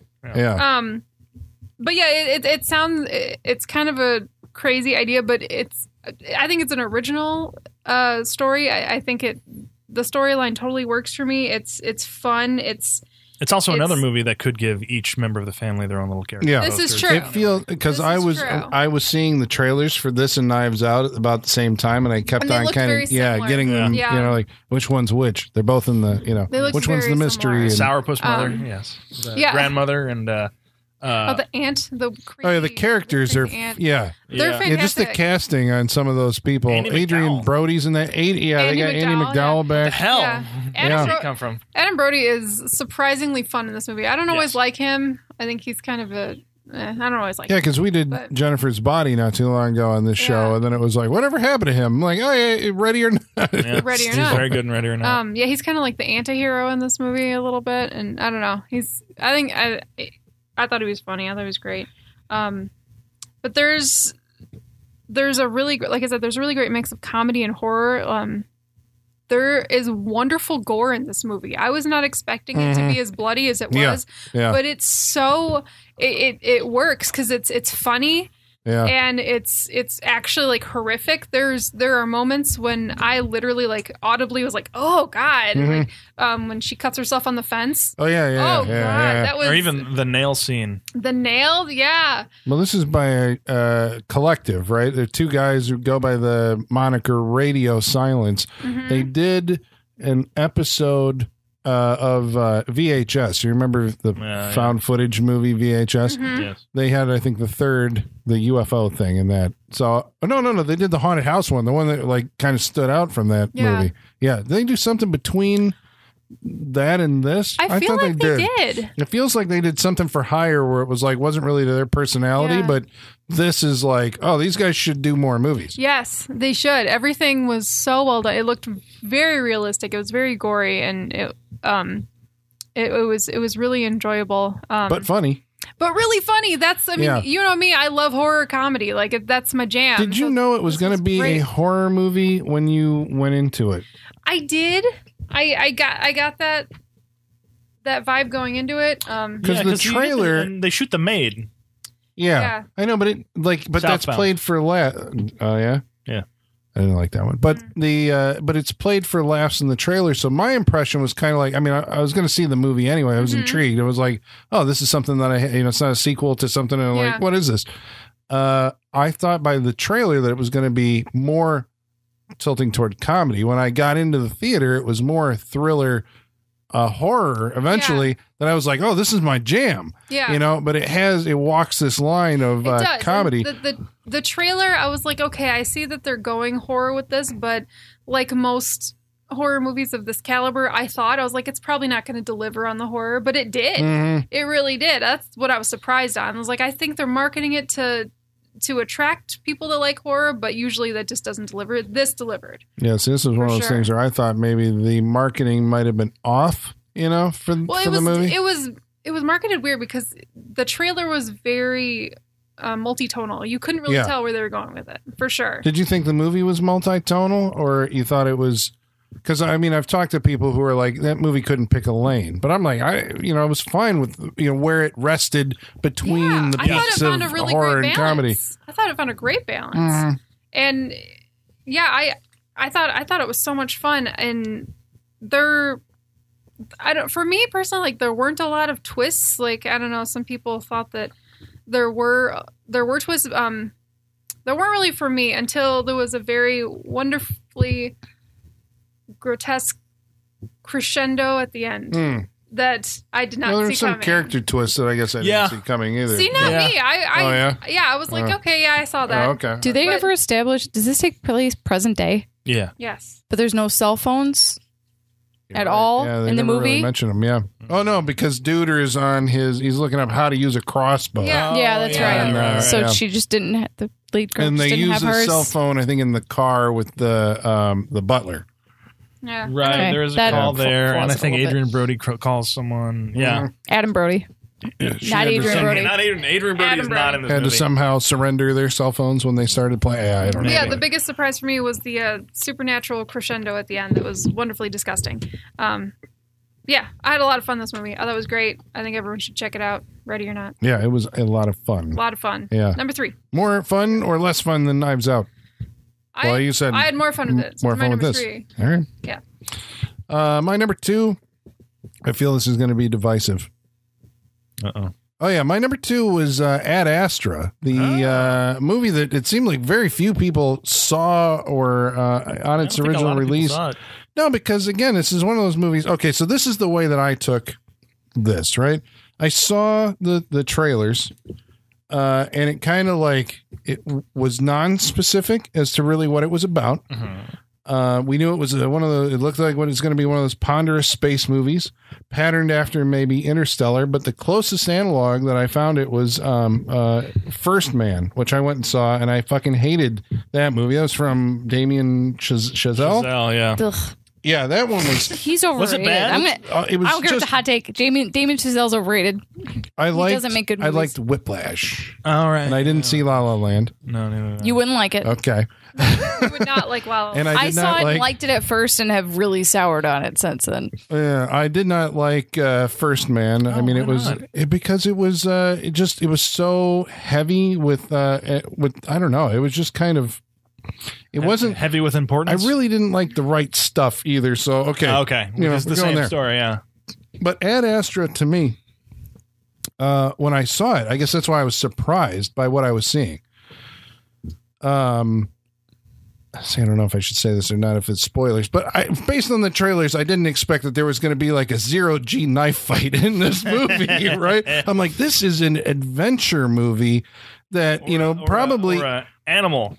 Yeah, I didn't Yeah. expect that at all. I You know, didn't so that's expect why I that. was like constantly That is constantly the thing I will by never it. forget Yeah. from this movie. like the never wilts forget. into like a horror. Yeah. You know, if you want to know what we're talking about, go see it. or you know, um, there's like that heist pirate angle yeah, yeah, yeah. in the first Yeah. act. Yeah, yeah, yeah. Didn't ex- did- I've No. never seen that in a movie before. Because Like, liked when I when I saw the trailer for this, I thought it was going to be this. Have you seen this movie? Nope. I thought it was going to be this like serious, uh, you know, like this is the serious thing about a space contemplation of the exploration. void of space. Yeah, but it was less that th- than it was like uh, an adventure film, which you know, like a science fiction adventure movie. Which I kind of, you know, as soon as I was like keying into this, I'm like, oh my god, this is the kind of shit that I live for, mm-hmm. and I rarely get like the hard sci-fi. It takes place in uh, space shuttles and space stations that seem like you know something that we actually do build now, Right. even though it's a little advanced into the future. Where um, Brad Pitt is an astronaut who uh, I think you know. There's I guess two themes going on here. There's the uh, you know there's the uh, the the the adventure film, but then there's also like this kind of contemplative um, like spiritual movie almost like it it kind of goes into like a psychedelic i think uh um you know mediation on um human loneliness. He's trying Yes, to make himself into like this perfect soldier and he you know his his uh, uh, uh blood or his heartbeat never goes above 80 you know beats per minute. Whenever he's faced with you know dire circumstances which makes makes him perfect for you know these uh, uh missions that he's sent on but he has to confront i think uh you know something very human uh as he goes along and uh um i don't know how much i can say basically i'm gonna say apocalypse now is one of my favorite movies of all time and this may be the outer space remake of this Okay. and uh where in apocalypse now you had uh willard and kurtz this one you have uh you know brad pitt and ultimately uh there's something that his father has done Yeah. Uh, you know, that he has to, you know, go through on this kind of odyssey. You know, it's like it really Greek is an Odyssey, odyssey. That's movie. a good word for it. Yeah, Yeah. because he has trials every fucking step of the Yeah, way. yeah, yeah, yeah, yeah, does. yeah. And and I mean, it remakes. I felt remakes a lot of the moments from Apocalypse Now, but it's Hearts of Darkness, I guess, or Hearts of Darkness, the Joseph Conrad uh, story. But um, yeah, I don't know. I thought um, I thought Brad Pitt in this movie. I mean, again, like nobody saw it. I think because it was marketed bad. I think in in the 1970s, maybe like it feels like this would have been the movie marketed alongside like Star Trek the motion picture as like you know like here's the adventure to the end of the you know universe where you're going to discover like some kind of cosmic uh, significance and now it's like eh, you know it's another one of these space movies that comes out and I don't know maybe audiences don't have the patience for this kind of um um I keep, I keep saying seeing the word meditative in my mind, but I don't know if that's entirely true because, like I said, it does get into what I consider psychedelic storytelling, where there's a lot of inner journey Mm. going on there. But um, Brad Pitt's performance, I thought, was like one of the best of the year. I mean, if I could nominate him, you know, as like best actor for this, I think because he's playing a guy so reserved Very. that it becomes a movie of close-ups and these facial ticks and the stuff that he is saying versus the things that are roiling beneath the surface are you know like opposed yeah i don't know i thought that this was uh I thought it was a great movie, and I've seen it like you know it came out on video, and I'm like I got to watch this like two times in a row. So yeah, apparently uh, Ad Astra, I didn't because originally I didn't think it was going to be second place, but uh, there it is, Ad Astra number two. Sean number two. Uh, my number two for this year uh, was a little movie called The Art of Self Defense. Uh, Holly has seen this movie. I don't Yeah. even know what this is. Oh my god! Uh, this Yeah, is where the, have I been? this is the Jesse Eisenberg. Uh, he goes to like learn karate in a in a small like dojo. No. No, Oh shit! I'm gonna show you the trailer. I, I told you this is the year I am the most uninformed. Oh, that's right. This uh, this is uh, yeah. I this is a uh, one of the one of the gems of the year. I think. Um, it is. excuse me. Um, believe it or not, Jesse Eisenberg plays a very timid, uh, milk toast um, human being. You don't say. I know, right? Shocking. Really breaking new ground I here. know. Who he's the kind of guy, you know, he goes to his job and uh, there's you know people in the three guys stand in the break room and he gets his coffee and he goes over and walks up to them and he kind of feels like he's going to say something. They all look at him and he just walks away. Like he's playing that character. And so at a certain point he gets mugged um, and ends up in the hospital. And then from there it's he goes on a journey of uh, uh, to discover his manhood, I guess it is, or to, and you literally see some manhood in this I mean, you movie. see, yeah, there is, there is, a, There's full frontal. yes, there is. Um, but he ends, he sees a, does he see a commercial? I, I think, on, yeah, he sees a commercial on TV Yeah. for, um, uh, It's very Rex Kwon Do. it is very Rex Kwon Do this commercial, um, and it's it shows uh, um, a sensei on TV um, trying to recruit people to come to his dojo and learn karate, and they do it in the most. they- They're trying to uh, go after the most hyper masculine, like uh, version of these characters. Um, it's uh, I don't know. It's hard. It's it's it's almost it's satirical on like they're going for the macho dude. It's like you will learn karate, and then you will become the master of your life. and it it's it's um and it's very funny in the direction they choose to go with that. So he decides to take lessons. Um, and he it's like he unlocks something in himself. He loves it so much that he wears his yellow belt uh, everywhere he goes, uh, even to work and everything. And um, it's the journey he goes on and his discovery of it's hard to say i don't want to give anything away with this because I, I want people to watch this movie i think it's that good um kind of like the how do i explain this holly like the the, the rules ah it's hard to do um There, there is an underground section of the dojo. yes that he. there's, there's the night class there's the night class, which you have to get Okay. invited Yes. to, and You some other get- weird. yeah. This is where the full frontal male nudity comes in, Yeah. and there's and it's it gets a little more hardcore in the night class. Um, uh, there's also some extracurricular activities that the nice night class partakes in. Um, there may or may not be some underground. Um, uh, I mean, there's murder involved, other muggings, there's Oh, so crime. this is okay. So you're, I get what I was like. He's not really selling me on it, but it's I because know. you're talking around the spoilers. Yeah, I don't because there's there's such a it's such a great discovery of such a simple thing as like uh, Jesse Eisenberg and his Timmy Way going like I'd like to learn karate uh, so that you know I can defend myself and his journey from there to the person he ends up being at the end of this movie it's extreme. Like he gets a little taste of like finally taking charge of his life and so he goes to work and he he, he he's um he um manhandles like the guys in the break room who were just like uh who were making fun of him.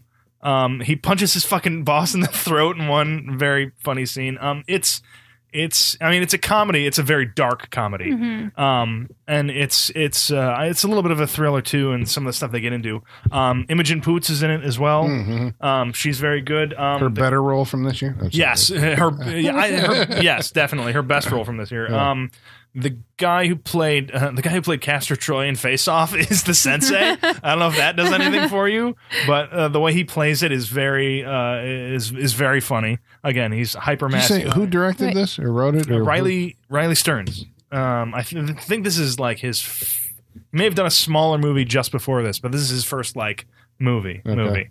Um, uh, I don't know where I was going with that, but um, it's it's I mean it's a black comedy. Uh, it's extremely funny. It's it's Jesse Eisenberg used to his probably most perfect potential. Uh, I know, right? And it's I don't know. Take that for what you will, but it's it's amazing how he's used in this movie. It does a lot that I was not expecting. It does a lot that you're not expecting. What was it called again? The Art of Self The Defense. Art of Self Defense. Yeah. I'm going to show you the trailer when we're done here, Okay. and it's All right. fucking great. It Um, it is one of the best endings I've ever seen in a movie. Really? yeah, It's it's wonderful.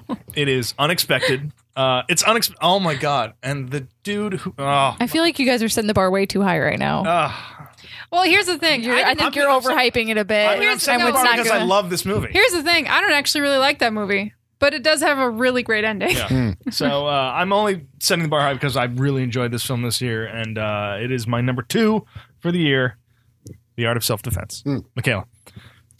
My number two is a movie that I'm sure most people haven't seen. Um, it's a Blumhouse movie called Sweetheart. Hmm. This movie, uh, I don't know why it didn't get any marketing and just got buried to Hulu. I guess. I never heard of it It's- until you're like, yeah. hey, have you No. seen this movie? Um, I had heard it mentioned in a podcast, and like, so basically, the premise is um, this girl Jen washes up on the shore of this deserted island. She's all alone at night. Something comes out of the ocean to feed, and so she's got to not only just survive as it is, but also dodge this thing that's coming out of the ocean every night. And obviously, there's going to be large chunks of the movie with no dialogue. Maybe that's why they thought it wasn't marketable, but they they do creative solutions to get around that obviously. Um much like um like 127 hours is a good example right? So you're like that's just a guy stuck in a rock but like they do all the flashbacks and like the memories he's having and like this movie employs things like that to you know make it not just a silent movie um and so that really does help but i was just really impressed by it it's a really cool creature movie that has a really cool creature and the way there's two shots they do to reveal it that are just like so creatively done especially like we know the blumhouse method is like cut corners everywhere you can it like like there's no plane crash scene in this movie, right? She just washes up. Like they cut out like you know they cut out Sure. things like that. So like the first two times she interacts with this thing coming out of the ocean, like you don't even see it. But the way that they shoot how she interacts with it is awesome, and it's the the lead. I think her name is like Kiersey Clemons or something like that. She's awesome, and it's a lot to ask of someone to like basically be silent and have to like this movie really has to show and not tell you everything. Um so it's not something you can second screen for that reason. You really need to be watching.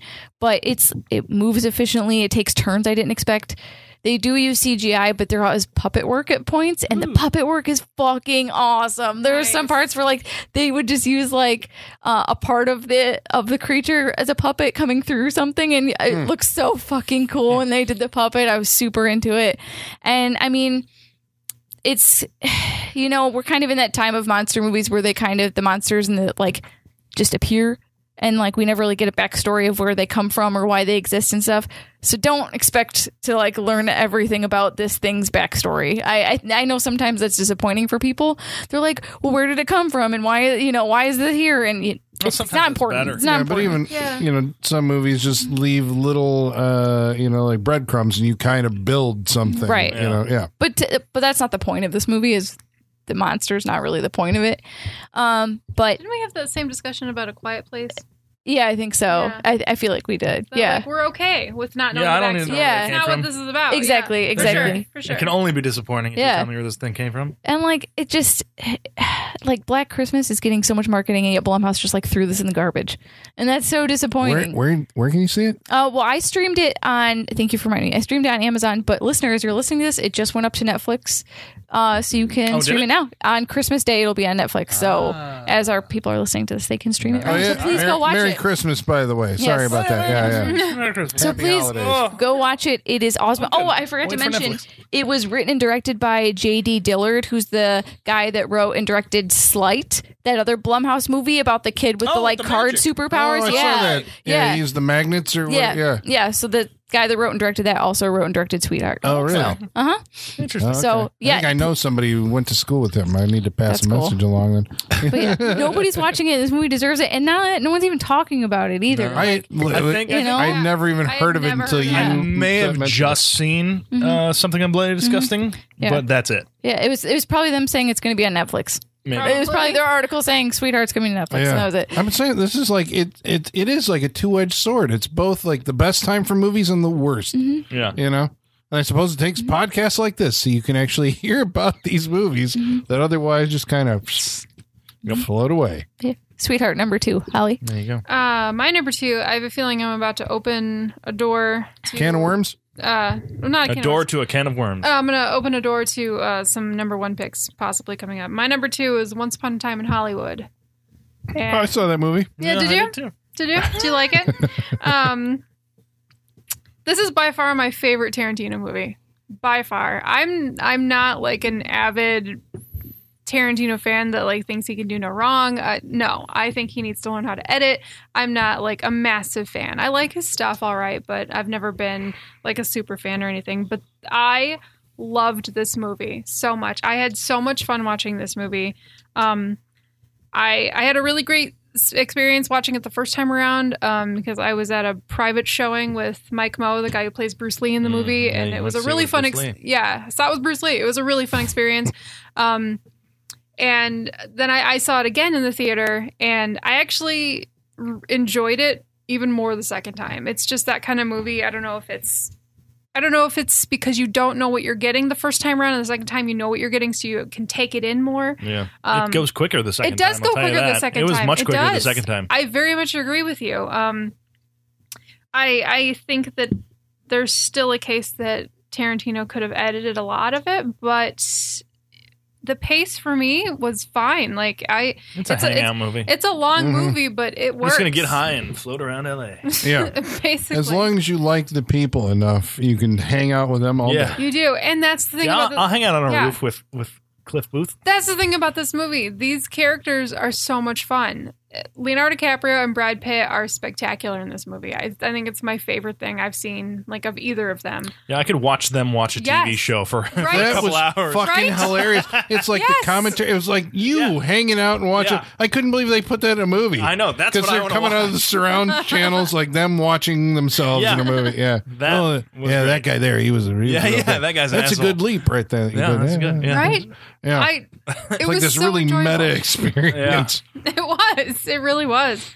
Um and I was I was surprised at how um how heartfelt it was for a Tarantino movie. There was some Mhm. really like genuine moments. I think that was the biggest surprise that I. Had. Yes, it was Mhm. very surprising. I was like, this is this is like a legitimately feel good movie. However, there is still a classic, you know, Tarantino extremely violent Right. scene in this still some movie. goddamn fucking hippies in this movie.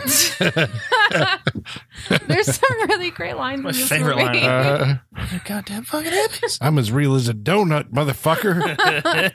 oh yeah. I, I, I love the I love the fairy tale angle of this. I, I think it's an incredible love letter to 60s movies or 60s Hollywood. Um, and I'm a huge true crime fan, so I was waiting for the you know the ultimate. We were waiting for the Manson murders, We're waiting for all that, and this had the most satisfying ending I've think I've ever seen in a movie ever. It was so incredibly satisfying. Even the title placement, Yes. like that. You know, Yes. yeah, it was nice. It was wonderful. Mhm. It was absolutely wonderful. I I had so much fun with it. I laughed so hard during this movie and I don't typically laugh very hard at Tarantino movies, but I laughed my ass off. I I loved it so much. Definitely easily in my top and I it it battled for my number 1 and number 2, Mm. but it is it is my number 2. Now I want to watch it again. I know. I just bought it. I love it. So excited. I know. I've seen it like four times now. I think because it's my number one movie I of the year. it! I know. It's like by process of elimination. You're gonna. I probably know it. I don't know what yours number one is. Then you're making me. Yeah. Uh, no, I was actually thinking of like just because I knew we were doing five movies. Uh, the one that was in strongest contention, I think, for number five was a movie called uh, One Cut of the Dead, this Japanese zombie movie, because it also is a love letter to filmmaking, right? And then you'd cap it off with Once Upon a Time in Hollywood. It's I think for people who are movie fans and and uh, you know because I wasn't alive in 1969 Sure. and I am kind of passingly familiar with a lot of the movie stars and very specific minutia of this. But this is Quentin Tarantino, like trying to, and I guess this is something uh, that only uh, um, filmmakers of his caliber have access to. He is recreating his childhood Mhm. You know, and building the thing and getting to live in it. Mhm. I mean, that's got to be a dream for like any filmmaker. He is my favorite filmmaker. I said last Mhm. week, John Carpenter, number two, Quentin Tarantino, I think is number one. Um, when I first saw this movie, yeah, it was kind of like it wasn't, um, it wasn't the, the the Quentin Tarantino movie that I was expecting. Uh, I have since gone back to it multiple times, and yeah, I mean, I don't know if I think it's the best movie, but it's on its way, you know, to to that uh, of his career, like the capper, because it is so much different than uh, his other films, where it Mhm. does have this like gigantic beating heart in the film. Uh, both with the Margot Robbie, you know, just seeing her go to the movies and watching herself. I mean, like, I you know, we've that. all kind of been there, but you know, the uh, the seeing a movie, but to see yourself in the movie and just like her experience of of loving the way that people react to, you know, this is Mm-hmm. Yeah, what when movies people are. laugh and she turns and looks around. yeah, at yeah, everyone, yeah, because it's so it's, sweet. this is like the American popular entertainment art form, you know. yeah. Um, the the two characters, I think this is the you know we we made a big deal out of Matthew McConaughey and the McConaissance when he had, but I'm like Ad Astra and and uh, Once Upon a Time in Hollywood. This is the Patanaissance. Nobody's going to go with me on that Nope. one. No, okay, not fine. at all. Uh, Does he need an assance? Like he's No. one of the greatest actors we've got. Okay, but that's that's exactly my point. It's like uh, uh you know, we forget I think because I he's think a so. movie star, like I keep remembering like the Thelma and Louise Brad Pitt or the Kalifornia Brad Pitt or the 12 Monkeys Brad Pitt or the interview with the vampire, you know, Brad Pitt where like this guy does have like these serious, or even the Jesse James. You know, these are the ones that are coming immediately to mind. Yeah. Like this guy's got some serious fucking acting goods. You know. And uh, I think both Cliff and the Ad Astra guy, it's like he's really good at like underplaying but Cliff Booth is like one of the greatest written characters I think uh you know of this year. You know, if he doesn't get nominated for a best supporting actor for this one, I'm going to be like, you know, fuck the Oscars. I don't care. Yeah. Um I think in some ways that overshadows uh, the Leonardo DiCaprio, the Yeah. Rick Dalton part, but Leonardo DiCaprio may be doing the best fucking work I have ever seen him do in a movie. I don't think it overshadows. I think they complement each other. I think Yeah, but you know what I mean. It's like Brad Pitt's, you know, a character, or just because you know, it's like I think that one will get more attention come Oscar time. Maybe. I think in the movie, you're absolutely right. They complement each other, but both guys are bringing a game and doing very good work in both of these parts. yeah. Um, I mean, as a love letter to film, you know, this is you know, and the idea that like you know, uh, it's a it's a it's a buddy story between uh, an actor and his stunt man, you know, and it's basically you, you hang out with them over the course of uh, what like two days, I think, like total that you spend, you know, in the in the movie. Um, I think uh, I think there's a month's well, there's a Well, gap because they go to, 'Cause they go to Italy. Italy, Yeah, yeah, but you see like a day from you know we wake up till Right, you know yeah.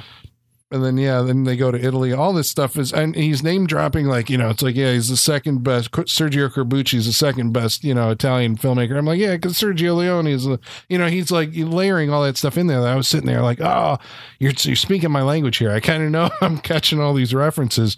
Um, but yeah, even on repeat viewings, it gets faster. Um, yeah, I thought that this was the best thing that I saw this year and we'll continue to keep watching uh this i mean like even right now if you said like you know you want to watch it i'd be like yeah i mean no problem like, you know uh, at three hours long i'm like yeah i'm ready to commit right now to watching this thing again um yeah uh once upon a time in hollywood number one movie best movie of 2019 sean what's yours by process of elimination Well, shit. No, I want to. I want to. It's not. It's not number one. Although I want to kick Jojo Rabbit off and put that in my number five now.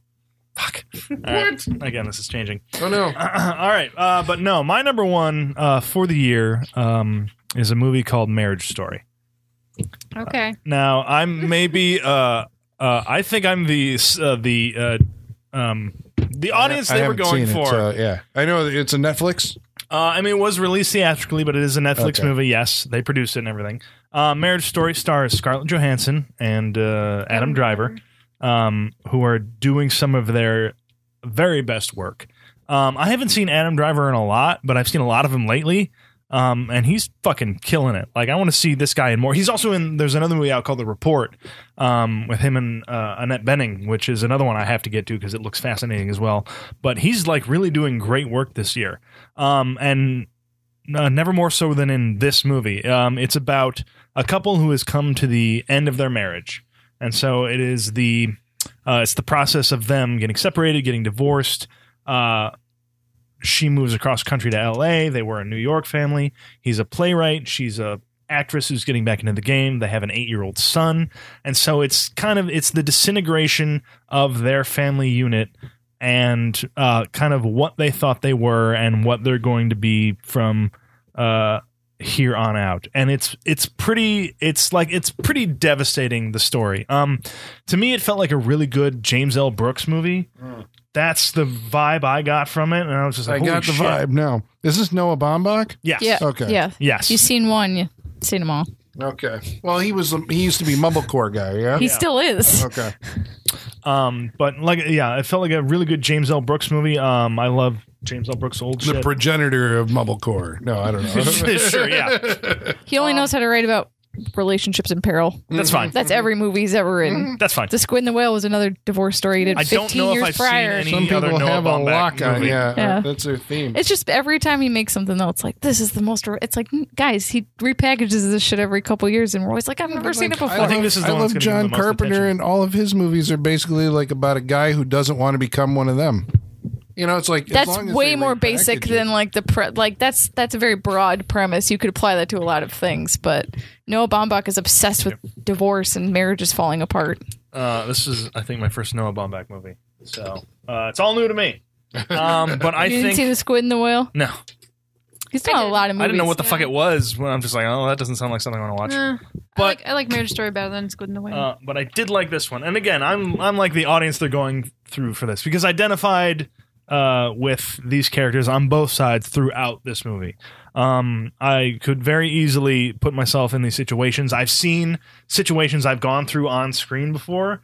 Um, this makes me probably a little biased towards this movie, but I think they pulled it off in such a uh, it felt very realistic. It felt very natural. I've had these conversations with my kid that they've had in these movies, uh, in this movie before. Um, I th- thought that everyone was like just fucking crushing it.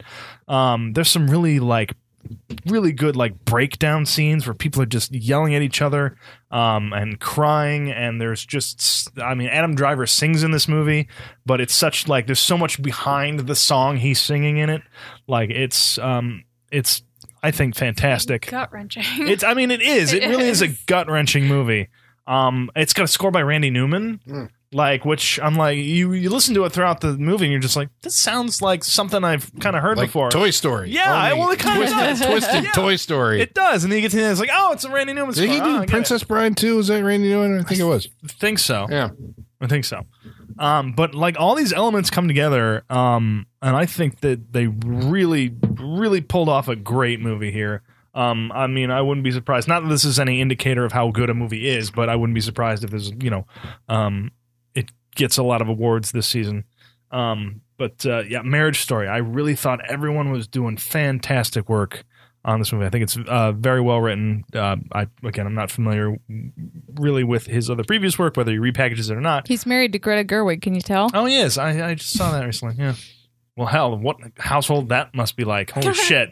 I feel like they both kind of have like their writing styles are so intertwined with each other that they can't really ever split up as like a, Probably- a couple. yeah, you know what I'm probably saying? Like they'll be together forever, or they'll or they'll go through this shit when they get divorced. Um, but uh, yeah, it was. Uh, I felt it was a really powerful movie to me. It was also like there's some really. Um, it's not just a downer, but there is some there's fun moments. Like even like they're supporting actors. I can't not mention them. Laura Dern uh, as um, Scarlett Johansson's like lawyer in this is she's fantastic. I think she's knocking it out of the park. Uh, Ray Liotta has a comes in and out a couple times in this. He's also a good cutthroat lawyer. There's a great scene in the courtroom uh, where Laura Dern and Ray Liotta are going back and forth uh, at each other with like the information that's been brought up um, by each spouse throughout the movie. Um, it kind of it gets regurgitated through the lawyers back to the other partner, and it's kind of it's a very cutting scene um, because it's just showing like this is a like a really low point for the couple, um, and so they're kind of they're really breaking down at that point, going at each other's throats when. Um, you know, getting into the divorce, they always thought it was going to be something else, that it would be easy. But it makes it even more hurtful because their lawyers are doing it for them Yeah. and they're just like sitting there with their heads down like they're ashamed of what's happening. Yeah. It's just sad. and because nobody like I mean, they feel at that point they both feel like they have to do this yeah. because they're being forced to do this at this point um and you know i mean they get to that point they they they rise they fall um and you know where they end up at the end i like i mean it got me um so i mean this movie did a lot to me um and that is why it is my number one for the year marriage story michaela my number one is Doctor Sleep. Uh, I really did not expect to like this movie. I thought the trailer no you were all over this bad. movie before you went and the trailer was You're like, get your wretched. glowing eyes, hat lady out of my movie. and I actually really liked that character. I was surprised. I oh my god! I like went in being like, this is gonna be some cheesy ass shit, and it's gonna it's gonna ruin like this good sequel to The Shining. Actually, really like Rose the Hat. Was really into it. Rebecca Ferguson was awesome. Um, it. Where do you start? I mean, it's the se- sequel to The Shining. We're on this kick lately of like picking up with movies 40 years later. We had Halloween 2018 last year. Now we have the sequel to The Shining for almost 40 years after The Shining. And Bill and Ted's just around the corner. yeah, yay. Where's Austin Powers? He's sitting this one out. You just wait. I have, a feeling, I have a feeling it's coming back. I mean, the Love Guru really That that's what buried him, right? Guru two. Like that that's what did him in. He hasn't done like shit I since know, then, he right? needs an Austin Powers four. She's He's had living cameos off in Bohemian he's Rhapsody. Off that sweet Shrek money. He's fine. Yeah. It's fine. That's true. there probably is a lot of Shrek money. Yes. That's a sad thing. Anyways, Doctor Sleep. Um, it. So I know my State of the Union was movies are too long. Like this movie, I'll watch the three hour cut three-hour because there's direction. so much content in this movie. There's so much happening that like I don't know how you make it less than two and a half as it is. Like it's. I, I didn't feel the length when I was watching it. It That's what she said. um, I hope not. Um, but so you know, it picks up 40 years after The Shining. Um, the storyline, the, the timeline in the movie is a little rough on exactly when, but um, Danny is an adult now. Uh, I don't think it's a spoiler to say he's like an alcoholic, and obviously, after Just living like through some childhood dad. trauma, yeah, uh, you you become your parents whether you want to or not. Um, and he's just his life's kind of falling apart, and he's trying to put it back together. Um, he drinks to suppress the shining. Um, I don't know. There's so many things I want to talk about, but they're like spoilery Don't content. spoil it too much because Um, now I feel like since it's got such glowing reviews from people that Yeah. I have to go see this or I have to get it when it or watch it when it comes out. So while while Danny's dealing with trying to be a functioning adult that's not an alcoholic, um, of course, in a small New England town, he's doing that too. He's he goes to a like town in the middle of nowhere to recover. It's it's that I was like that. Yeah, yeah. I can tell we're in Stephen King land. um, and then meanwhile, there's this girl Abra. She has The Shining, but she's but it's like way stronger than anyone. I'm sorry, her name's Abra. Yeah. Sometimes they call her Abby. Sometimes it's shortened to other things. Yes, Abra. Ebra. Um, Stephen King. Sean, I- yeah, are you yeah. surprised? Yep. um, and then there is also this like group of um like roaming uh spiritual vampires called the True Knot, and they're led by Rose the Hat, Rebecca Ferguson, and they can't live forever. They just kind of extend their life by sucking like your like life force out of you. They call it steam because that's what it looks like. It looks like steam. Is it Um, anybody or just shining people? Just the shining people. Uh, yeah, but like the thing is, they kind of talk about how everyone has varying degrees of The Shining because they they even say in this movie like, have you ever just like had a gut feeling and it came true? They're like, that's The Shining. So technically, like all people have it the way they talk about it. It's just like All people have the the, deg- force. It's like the midichlorians. Yeah, it's Yeah. like what level of midichlorians you have. So It's like who's worth killing over it. That's Yeah. the thing. so that's why the like the girl that has the most power, like she could sustain them for a long time because they kind of like trap it in these little bottles. I feel like I'm getting too deep in the weeds here in this movie, but um, she, Rebecca Ferguson is awesome. Uh, they kind of rove around, and so they kind of go around like um near dark style, kind of like picking up people that have the shining and sucking the steam out of them. And all these stories converge in the third act. And we we the, the sets that they must have they had to have completely rebuilt sets for this. I I i think so. It, they look amazing. Cannot believe how good it looks.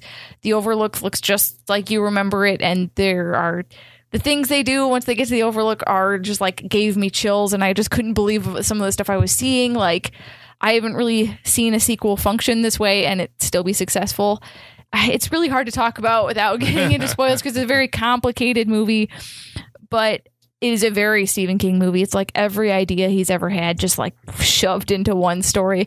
There's even a part where I was like, really, I was like, dude, you're you're becoming that Family Guy bit. You guys ever seen that Family Guy clip lamp. where they're like, Stephen, what what do you have? At, he said his like agent's office, and they're like, Stephen, so what idea do you have for a story? And he's looking around the office. He's like, what about a haunted? And he grabs lamp, lamp, and like he Sold. there there was a part in this movie where one of the characters says that like pain makes the steam like more purified. And i was like oh so like scaring kids makes them taste better? Well, i was like we're come on you're recycling your ideas here man.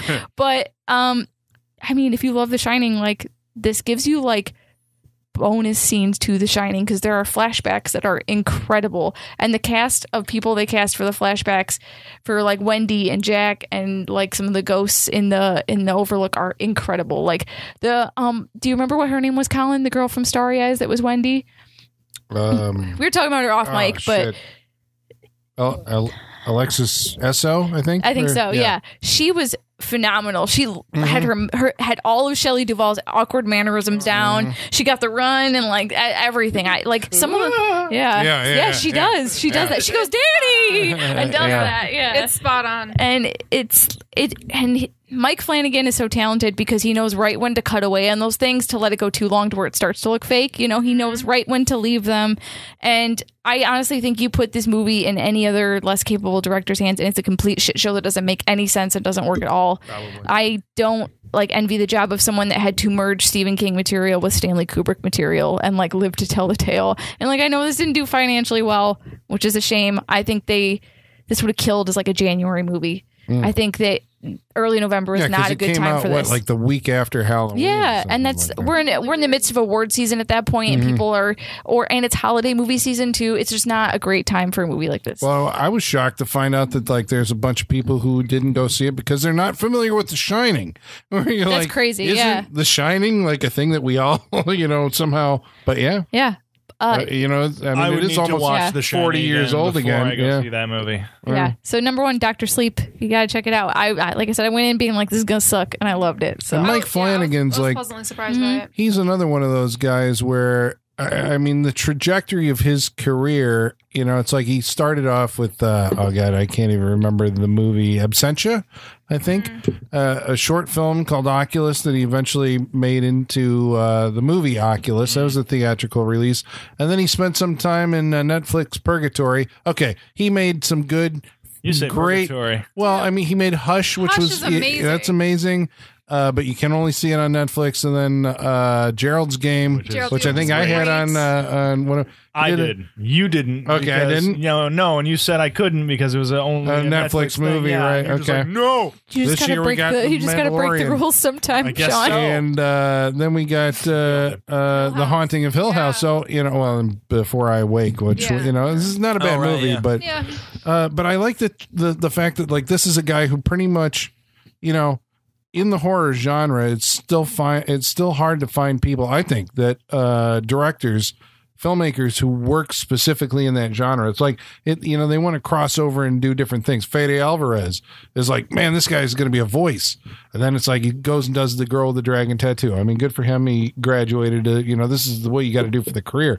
But Flanagan is pretty much stuck strictly with doing uh horror stuff and now he gets you know a major hollywood uh warner brothers motion picture you know big screen platform release Mm-hmm. I've know? seen like a minor groundswell of people wanting him to do a Dreamcatcher remake now because they're they're like he can do the Stephen King. Uh, like this is the best Stephen King adaptation of the year, I think. I mean, I don't think it has a lot of steep yeah, I competition know, though. 'cause I'm so like, I you didn't know, like it as much as you did, but I think e- that is still, uh, that I would still agree with that statement. yeah, yeah. sorry, Holly, Pet No, Cemetery was bad, and uh, so and it It was sucked as well. It was disappointing. Mm-hmm. And some good scenes. But we haven't gotten to our worst movies of the year Oh, yet. yeah, so I forgot about who knows if it's going to be there. Holly, what's your favorite movie of the year? my favorite movie of the year is Jojo Rabbit. Ah. oh, wow. yes, Jojo Rabbit comes back. which should not be a surprise because it's Taika Because she Waititi. loves Nazis. I don't know if you guys know this I- about Holly. I- She loves Nazis. I am just mad about Nazis. Nazis. someone Oh. clip that out, use that for I nefarious know, yeah, reasons. yeah, yeah, Loves the This is the kind of shit that comes back on you later. Yeah. Like when Yeah. there is a podcast where she said, yeah. Yeah, yeah. Don't ever run for public office Uh-huh. now, guys. Well, no plans of that. um, but I do love Taika Waititi, as you all know. as you all know. Um, so this movie I knew was going to be right up my alley, and I was not even remotely disappointed. It was spectacular. It hit all of the beats for me. Um, I won't talk a lot about it because Sean already talked about it and he hit a lot of what I wanted to say.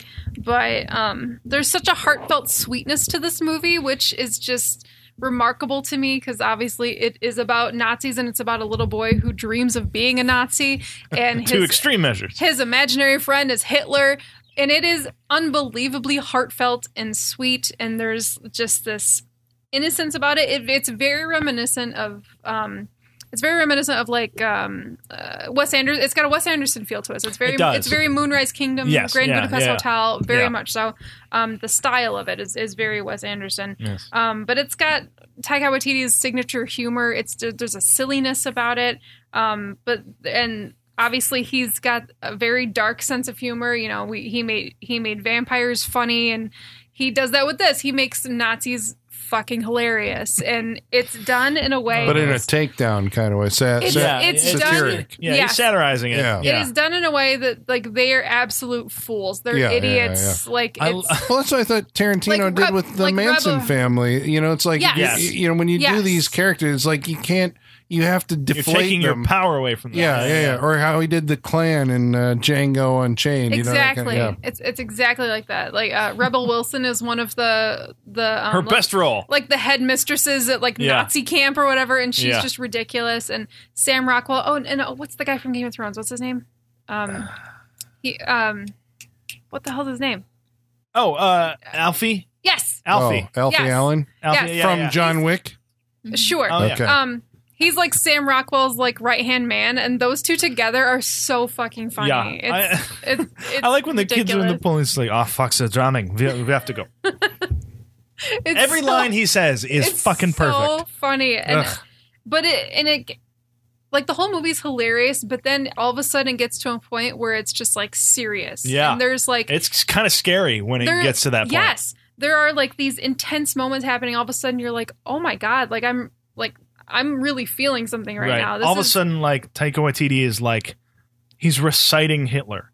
yes, And he, because, and I thought about that when I heard him, like, this is something Hitler actually said. yes, Has to be, because he gets serious and scary about it when he's Yes. trying to scare the, the Because, kid. yes, the the more the the more the kid is conflicted about his thoughts and his feelings, Yes. the scarier and more real Hitler becomes. Yes. Mm. He's at first he's like this lovable, you know, like imaginary Right, friend. you love me, so we're cool. Yeah. Hey. Yeah, he's like this lovable imaginary friend, and then the more real it gets, the more scary he gets, and it takes this turn. And, and you realize that the movie is not like glorifying something. It's like it's it's recognizing that there was this horrific thing that happened, Mm. but it's making it satirical because it's it, it's just it's just a brilliant way to display this movie. It, it's it's really fantastic. It's um you were saying earlier, Sam Rockwell and Scarlett Johansson are phenomenal in Yeah. this. They they they hit the the comedy bit bits, but then they also just bring like dread and sadness and love and empathy, and it's just remarkable. There's incredible depth to these characters. Mm. Every every character, I love every character in this movie. They're all fantastic. Um, yeah, I felt every emotion watching this. It it really, I, I laughed, I cried. That fucking kid with the glasses. the little roly poly kid. It's just not a good day to be a Nazi. He's amazing. Like I, I loved everything about this movie. It was absolutely my most enjoyable movie experience of the year, easily. Like I, I, I walked out of the theater saying, "This is my number one." like no, no doubt about it. And I had done that with Once Upon a Time, but Yeah. then I saw JoJo. I fell in Uh, love. JoJo. Jojo Rabbit, number one. There it is. There it is. All right. Well, that's uh, the list. All right. That's, That's the top, top five. five. Top. Yeah. Yeah. That's pretty good. I gotta say, I'm kind of Pretty mixed bag. Did you check and see how your uh, Michaela Oh, been yeah. trying to figure out like if she could guess? I tried to guess all of your guys' top fives to see if I could. Uh, how Oh, did well you? I, yeah, I I, Oh, I this did pretty good. Okay, I did pretty good. So, Colin, uh, I had your number five as Midsommar. I had four as Ad Astra, three as Knives Out, two at Ready or Not, and one is Once Upon a Time in Hollywood. Yeah, I thought Okay. Knives Out would have made your top five. Yeah, that's I know, what I thought it too. It was all day long, But and it then- kept but that's the list. I right then I had a, I had like a and then I started really second guessing myself. So I have like an I had like a maybe section in Mm-hmm. my, my maybe section for you. I had one cut of the dead. All right, I put that at ten. Lord. it was Yeah. at five. I kept on moving it around. Yeah. because that movie is like you know this. It's a celebration of film. It's a zombie movie, like a uh, first Right. person, uh, you know, or, or found footage zombie movie. But Yeah.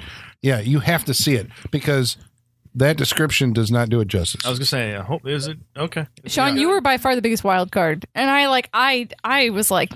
I could be 100% right with yours. I could be 100% wrong. What'd you guess? So uh, for yours, I had number five. I had Hustlers. I thought for sure you were going to put Hustlers. Because you did come back and say, like, You were like, it's amazing, guys. Yeah, you were really selling I liked it. Yeah, I know, but like you're the only person I know that's even seen it. I would agree with You that. know?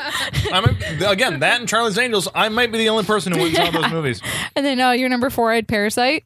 I was really surprised that didn't make your top five, honestly. There's a lot that like top ten would have been Mm-hmm. like. There's a lot of these that would have made it in there, but And then your number three, I had The Art of Self Defense. okay. And Oh shit! Well, bam. two, Mine two. yeah, Bam. two, I had Marriage Story. Okay. And then number one, I had Jojo Rabbit. Oh, see. Oh, okay. Mhm. So It's close. And for how it was close. For Holly, I had a really hard time because I remembered like three things you said you liked, but after that, I was like, oh, I don't know after that. Like, um, so for your number five, I had Endgame, and then four, I had Crawl, three, Ready or Not, two, Once Upon a Time in Hollywood, and one, Jojo Rabbit. Wow. Oh, wow. Wow. You're like damn. so. I threw you for a loop with John Wick. It sounds Yeah, like that, the, I- yeah. and as soon as you Yeah. said that, I was like, I should have known. God damn it! Right. Yeah. the only movie on my list that we haven't talked about was Dolomite is my name. I thought that was, That was uh, a fun. That's a fun. I've heard movie. nothing but really good Uh-huh. stuff about Yeah. that. good. Well, yeah, but we watched Dolomite on this show. You can go back and listen to that episode. But I think it has a special meaning if you've seen Yeah. Dolomite Like or uh, the Human Tornado. Tornado. Yeah, yeah, yeah, Yeah. Yeah. Well, it's more like It's more um, fun. Yeah, It's more like a people coming together to do something. yeah, Like it's it's up, it's uplifting and it's funny. yeah. Um, God damn, Dolomite. uh, so that brings us to the most exciting portion of our show, which is Which is the most disappointing portion. Of yeah, show, yeah. Well, so is that what we're saying? Are we, are we going with the worst movie of the year, catastrophically bad? well, Or it's- disappointing. I, I think disappointing is worse. subjective. Like, How about be we all- disappointed by a movie? That's the worst. Why don't we all just so. say what it is for us if it's the Well, worst or it's the most okay. disappointing? Okay, uh, Colin, I think we have the same one. Okay. So I, I'm, on the pro- count I, I'm okay on my list. I also guessed what I thought your worst ones were going to be. I just didn't say them yet because. Okay. Yeah. Right, yeah, but I did guess first. your worst, and I I'm pretty. No, yours is different. I confident Colin's is different than yours, Sean. I don't know. So? Yeah, I'm thinking back to early, early Well, this is 2019. all right, So so am I. at this. Like, I know what yours is. I know so what at Colin's the same is. time, I want us to say it. Okay. Uh, so we're so- doing three, two, one. Yeah. Are we're going two- on one or No, one three, and then go? two, one, go. Okay. All right. Uh, three, two, one. glass. Glass. Yeah. Uh, That's okay. what it has to be Well, because you I- were angry Oh about yeah, yeah, that. yeah, yeah. I still am because I was sitting there going like, was the worst movie "The Dead Don't Die"? I'm like, that might be the worst movie, but actually, no. I'm going to take that back because even in my justification, like, even though it's a, a technically worse movie, M Night Shyamalan's Glass is worse because it retroactively made me feel worse about the my last time when I picked Split. I'm like, no, Yeah. Get Get Out is my number one now. Right, you know, yeah. uh, which is just shocking. I had so much hope built up in that So thing much hope. over 20 years, right? For Unbreakable. I loved that movie. Uh, then Split came out as like the, the shadow sequel to Unbreakable, and he's Yep. starting his own cinematic universe. And like that character, the Kevin Wendell Crumb, you know, character is awesome. What's it going to be like when he puts them together in a film? And I followed the making of it. This is why it's, you know, I mean, like your mileage may vary, but, you know, um, and then when, when that movie came out, it was like, uh, I mean, he was kind of the Rian Johnson of his own fucking shit. And I sat there going, like, you know, I gave M. Night Shyamalan, he's been lost to me for years. And then, uh, you know, because everybody back. was like, yeah, the visit. And I'm like, I didn't care for the visit either. That's Neither still did M. I. Night Shyamalan. Really? No. And that's just me, you know. And then um and then Split came along and I'm like this is the guy who's been suppressed for so many years and just hasn't been able to have a voice and Blumhouse came in and gave him the fight and said give us the and he did it and it was awesome and I was like this movie. is the most phenomenal fucking thing best movie experience I had that year. This is the worst movie experience I had this year and I can't believe it came from the same guy. right? How he could, A mere two years apart too. Like, every fucking decision that he made was to undermine his own shit. It wasn't even like somebody else coming in and doing it. No. He did it himself. I couldn't believe it. I'm like, what are you doing? No, no, like all he this Rian stuff. Johnson his own he stuff. Rian Johnson his own stuff. he was the first Rian. No, he wasn't. He was the second Rian Johnson. Right? It came after. Yeah. Yeah. Okay. yeah. Um, I just could not fucking believe So the disappointing. the yeah the, the the the fact he would take his characters and well, I mean, I guess I said it right. He undermines what made them something in the first place. We sat down here, Sean and I. I think Yeah. like uh, uh, uh, the you two had gone home. yeah. We were very drunk, and we were We talking about this through the whole movie, thing. Yeah. and we made we came up with like point by point like this is the it. better version of this movie Yeah. and now i don't remember what oh the no! fuck and it we, was We did it too. We It- had yeah it. it's you like don't that remember? I am shocked. I know, yeah, yeah. We had because it was like, oh yeah, th- like this is what this character needs and feels and you know wants, and Yeah. this is how it all plays out, and you know, and we, I think we made it would have made Glass, uh, the Elijah Price character, like a bigger deal, Yes. than he was in his own fucking movie. Yeah. but it would have paid off both uh, Unbreakable Man and The Beast. Um, but yeah, everything, even the way it was shot, I'm like, Yeah. you know, uh, uh, James McAvoy, I'm, I was embarrassed for him. Yeah. like, wow, you're just not doing this right at all. no, they're just like you put him. That that beast character belongs in the the dark hallways Yeah, of the yeah, underground yeah. of the zoo, not out in the open No, go broad daylight. yeah, I'm like, yeah. then you're just an idiot out You're, there. taking, you're oh. Ah. sapping him of his power. Yeah. You are taking all that mys- mystery away. Yeah, yeah, it was It awful. awful. How you what you did to to David Dunn, his yeah, ending. yeah, What an insult to Yes. that character. yes. Holy shit. and then at the very end, well, I mean, I thought the uh, I mean, we're in agreement that right now it's just overlapping. Like you don't get Yeah, a second you're turn. talking- no, no, is this, all yeah, this is- This is this is also no, no, Sean. Go through this again. No, This is also this Sean's. Our co I'm just, most Yeah. disappointing movie of the like year. you guys go. Just I, I thought yours was going to be Child's Play. that would have been I Worst. Yeah, That's that's the one that kind of the more broke my heart was Glass. Oh,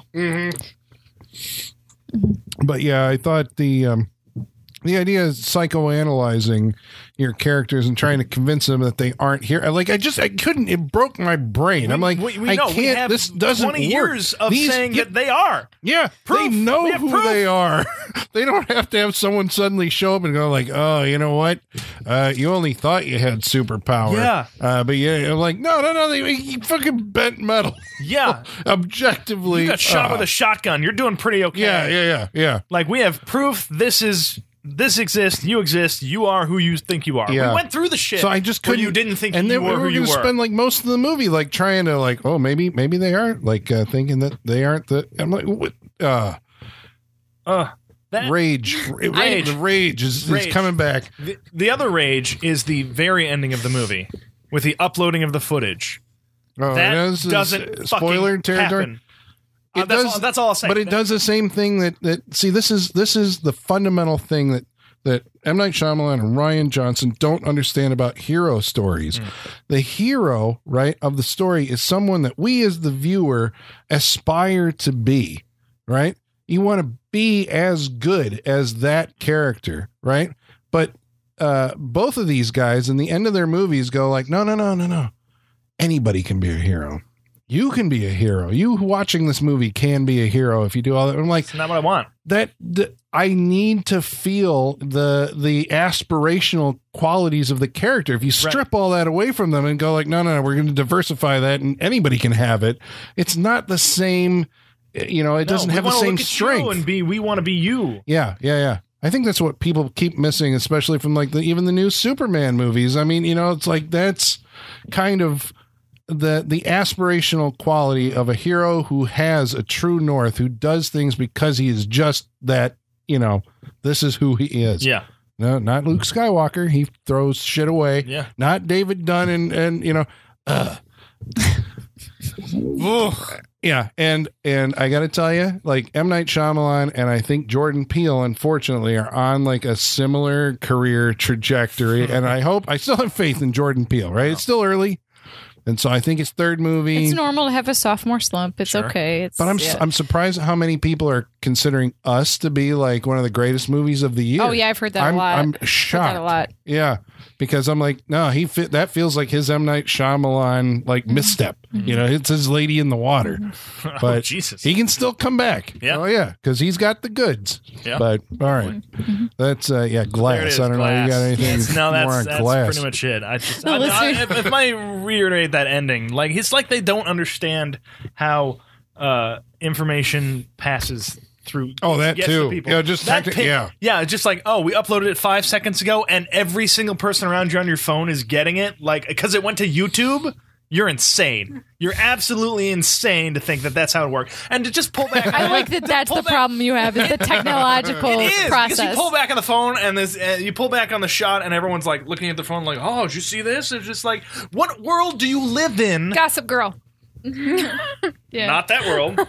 but what world do you live in where you think that this uh, this information is going to get to these people this quick, and also that anybody's going to believe it in a world where Right. you can just make Right. anything and put it on YouTube? Oh and God, make that's it look right. Real. Yeah, the whole end of that movie is like, It is oh. that. It's just like what makes Yeah, but you the think secret that that's society gonna too. Like, oh. Uh, oh, uh, oh, it's a terrible fucking movie. done, done, glass. All right. Fuck. See, this is why it's the worst. This is yeah. like- did this. It creates the rage, listeners just gotta look into what it's like when the mics go off and you guys stay up late all night drinking. 'cause Yes. It's like you guys forgot we were podcasting for a minute there, and you were just like This was the on on your shit. late night Oh, yeah. rant. Yeah, Okay, so I say we guess what Michaela's worst movie is on like You got three, lot two, to one. Remember everything she's seen now. Name everything you saw this year. No, no, no, no, uh, no. You just gotta go with I, the. I did. I ask you guys everything you saw this year before I made all three of your lists. I know. Did that but shit all from memory. I'm gonna.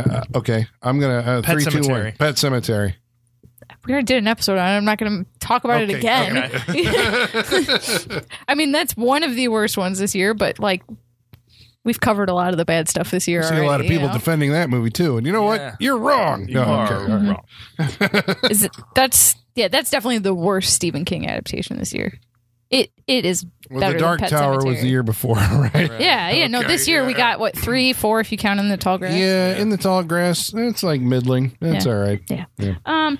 All right. So my worst of the year is Wounds, Ah. which is starring Armie Hammer, Zazie Beetz, and Dakota Johnson. Um, Armie Hammer is a bartender who like works in New Orleans, and uh, some teenagers come into the bar, and they like some a scuffle happens, and someone leaves their phone behind, and he takes the phone home with him, tries to like get into contact with who left the phone, and weird body horror stuff starts happening.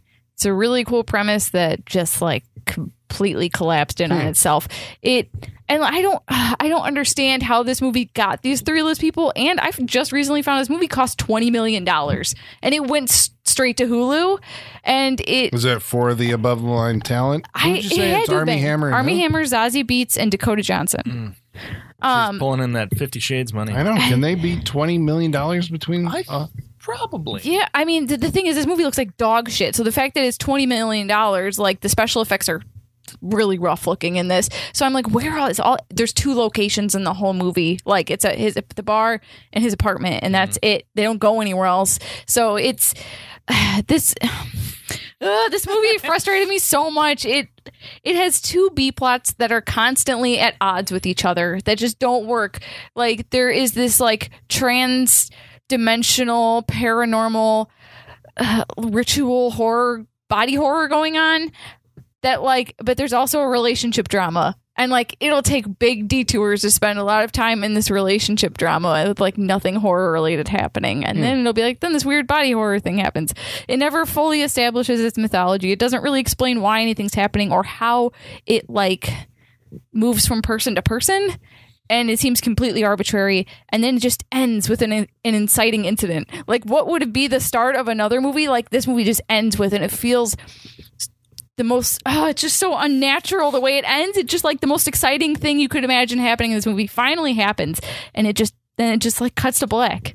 And it's it's not a resolution. It doesn't even make any sense because the mythology we've set up doesn't make any sense and like th- these three a-list people like just signed on to this and i just don't know what they saw in it especially because it didn't get a big release it didn't really get a lot of press like i don't know what is this like a money laundering movie or something because that's what uh, it feels It was like, a film festival movie that Hulu picked up. Yeah. you know, right. yeah Who's the director on this? Do you know, uh, I can't remember his name. Let me or, see or if I what they've it done, really have done before? I didn't recognize anything they had done before. But I mean, I've heard it talked about. up There's been quick. some people who have recommended it as like you know one of the best movies of the year too. but- I Babak Anvari, who, is who Mm. directed it. I don't like. I don't recognize anything he's done. But Babu it- Frick. That's who directed. But it? yes, Ba- Babu. It'd be a much more delightful movie if Babu had dir- had directed it. It just like I'd heard such good things about it, and that's why I went out of my way to watch it. And then like I just like wanted to throw my phone through the TV at the end because it was a cool premise that just like didn't finish the movie. And like yeah, the twenty million dollars, I have no idea where the fuck it went because hmm. it's not on the screen. It had to have been talent. It had to have been like, yeah, I'm not going to make any money off this once it comes out, so I need all the money up front or something. Like, it's just, ugh, Armie Hammer. You can see his butt in it if that does anything for you. So, you know, Not for Colin. that's sorry. that's like the, that's like the best thing I can say about it. So, I mean, yeah, Holly. it got my interest just now. I'm not gonna Holly's like, well, maybe no. Like, you know, It's scroll, I'll watch it at like three speed until I get to I was that like, that scene. sounds awful. And then you got to that, I was like, oh, Oh yeah. Well, oh, and Dakota some Johnson. said it was good. Dakota Johnson makes the most baffling acting choice in this movie. That's Of what she I just hear. like That's what I heard mumbles. about it, yeah. She never fully opens her mouth. She's like, I don't think she has a scene outside the apartment at all. She's just monotone and like mumbling the whole movie and doesn't Weird. have yeah. Because And normally I feel like I want to watch this movie. it's. ugh.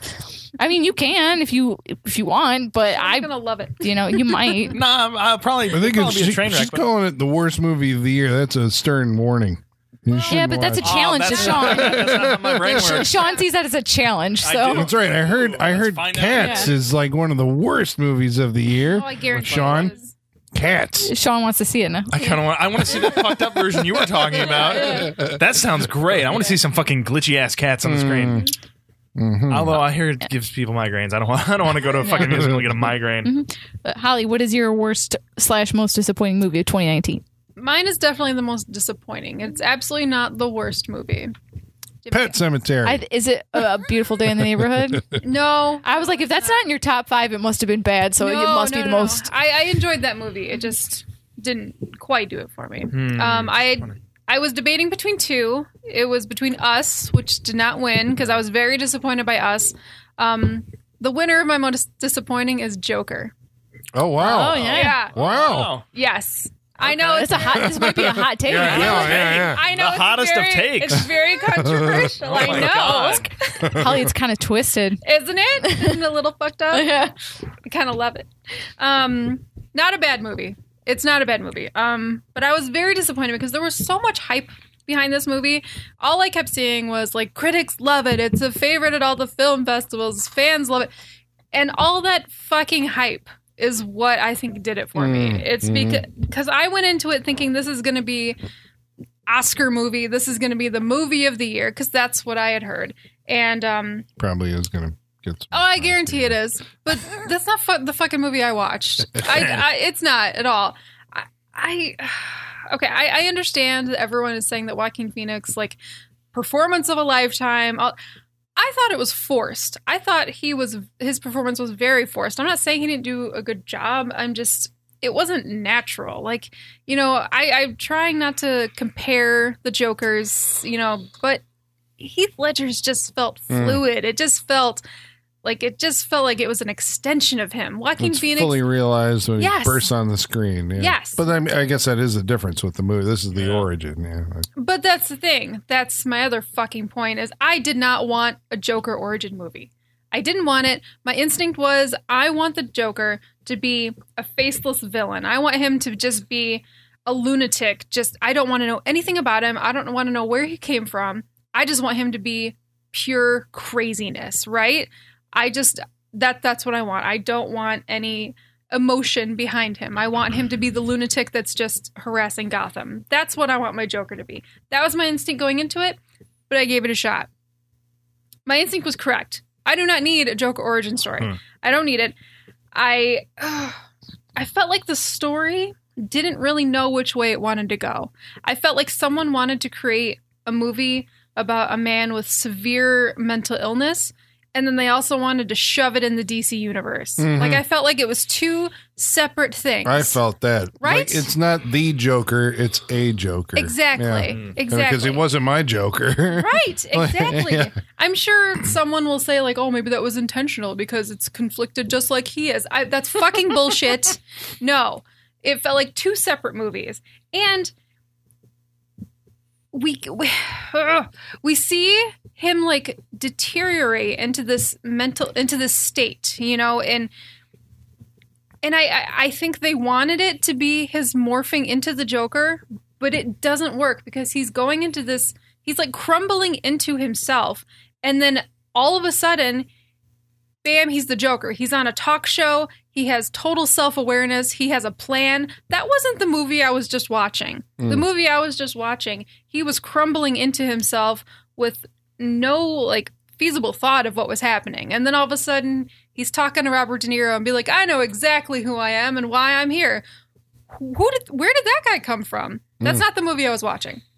So it was, it, everything from the talk show on was just I, I was checked out. I was like, this is taking a turn that does not make any sense to me. It- Yeah, well, I'll agree with you on the talk show thing because I thought that was like it just didn't feel like it came from the like the whole movie tries to set up this real world right. you know scenario, yes. and then the talk show is like this would never happen anywhere on planet Right. Earth, uh, like the way that it happened. And Mi- Right. Robert De Niro's miscast in that movie. Absolutely. that's terrible. I mean, I get that they're riffing on the king of comedy, Right. sure. but Yeah, he- that's miscasting. Yeah, he Yeah. shouldn't have been in that role. Yeah. No. And, And there's another little plot point which we can't reveal because Right. of spoilers, but that's like I mean, a lot of people that are forgiving it. I'm like, I can't I- forget I like, can't. that. That's I mean, why I didn't said, li- like, from dislike the- it as much as you did, but you know, even that was like that. You can't do that's that why and I'm get like away from with then that. on I was checked out. Like Yeah. I just I can't I can't buy into it. I I feel like I don't know, maybe maybe I I need maybe I need more separation with my comic book movie.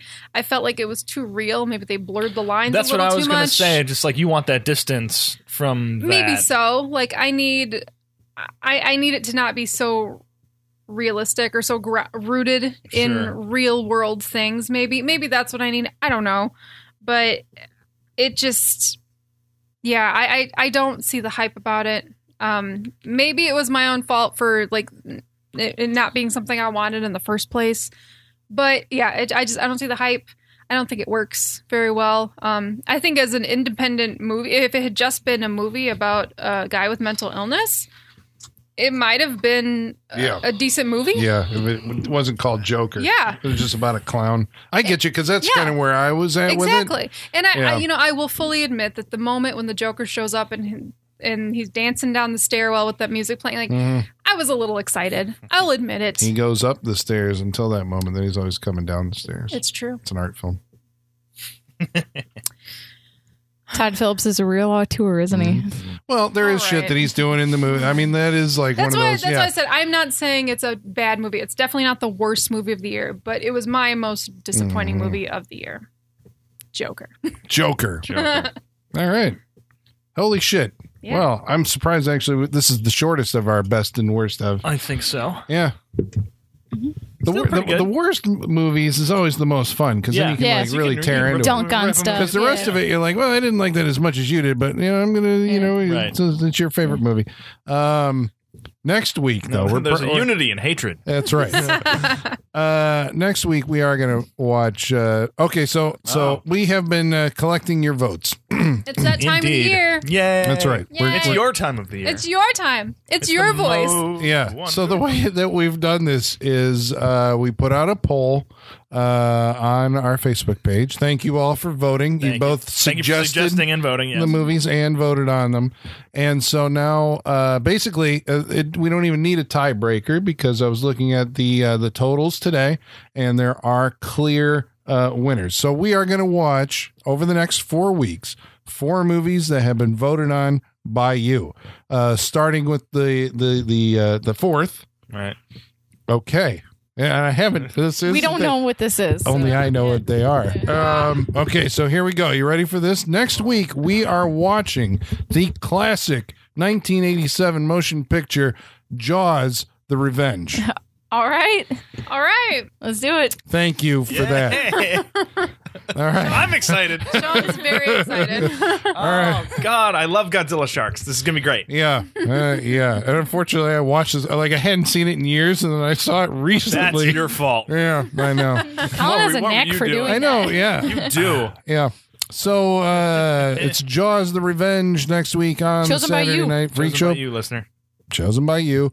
Uh, happy New Year, and we'll see you in 2020. Jaws the Revenge. And until then, ladies and germs, the basement is going dark.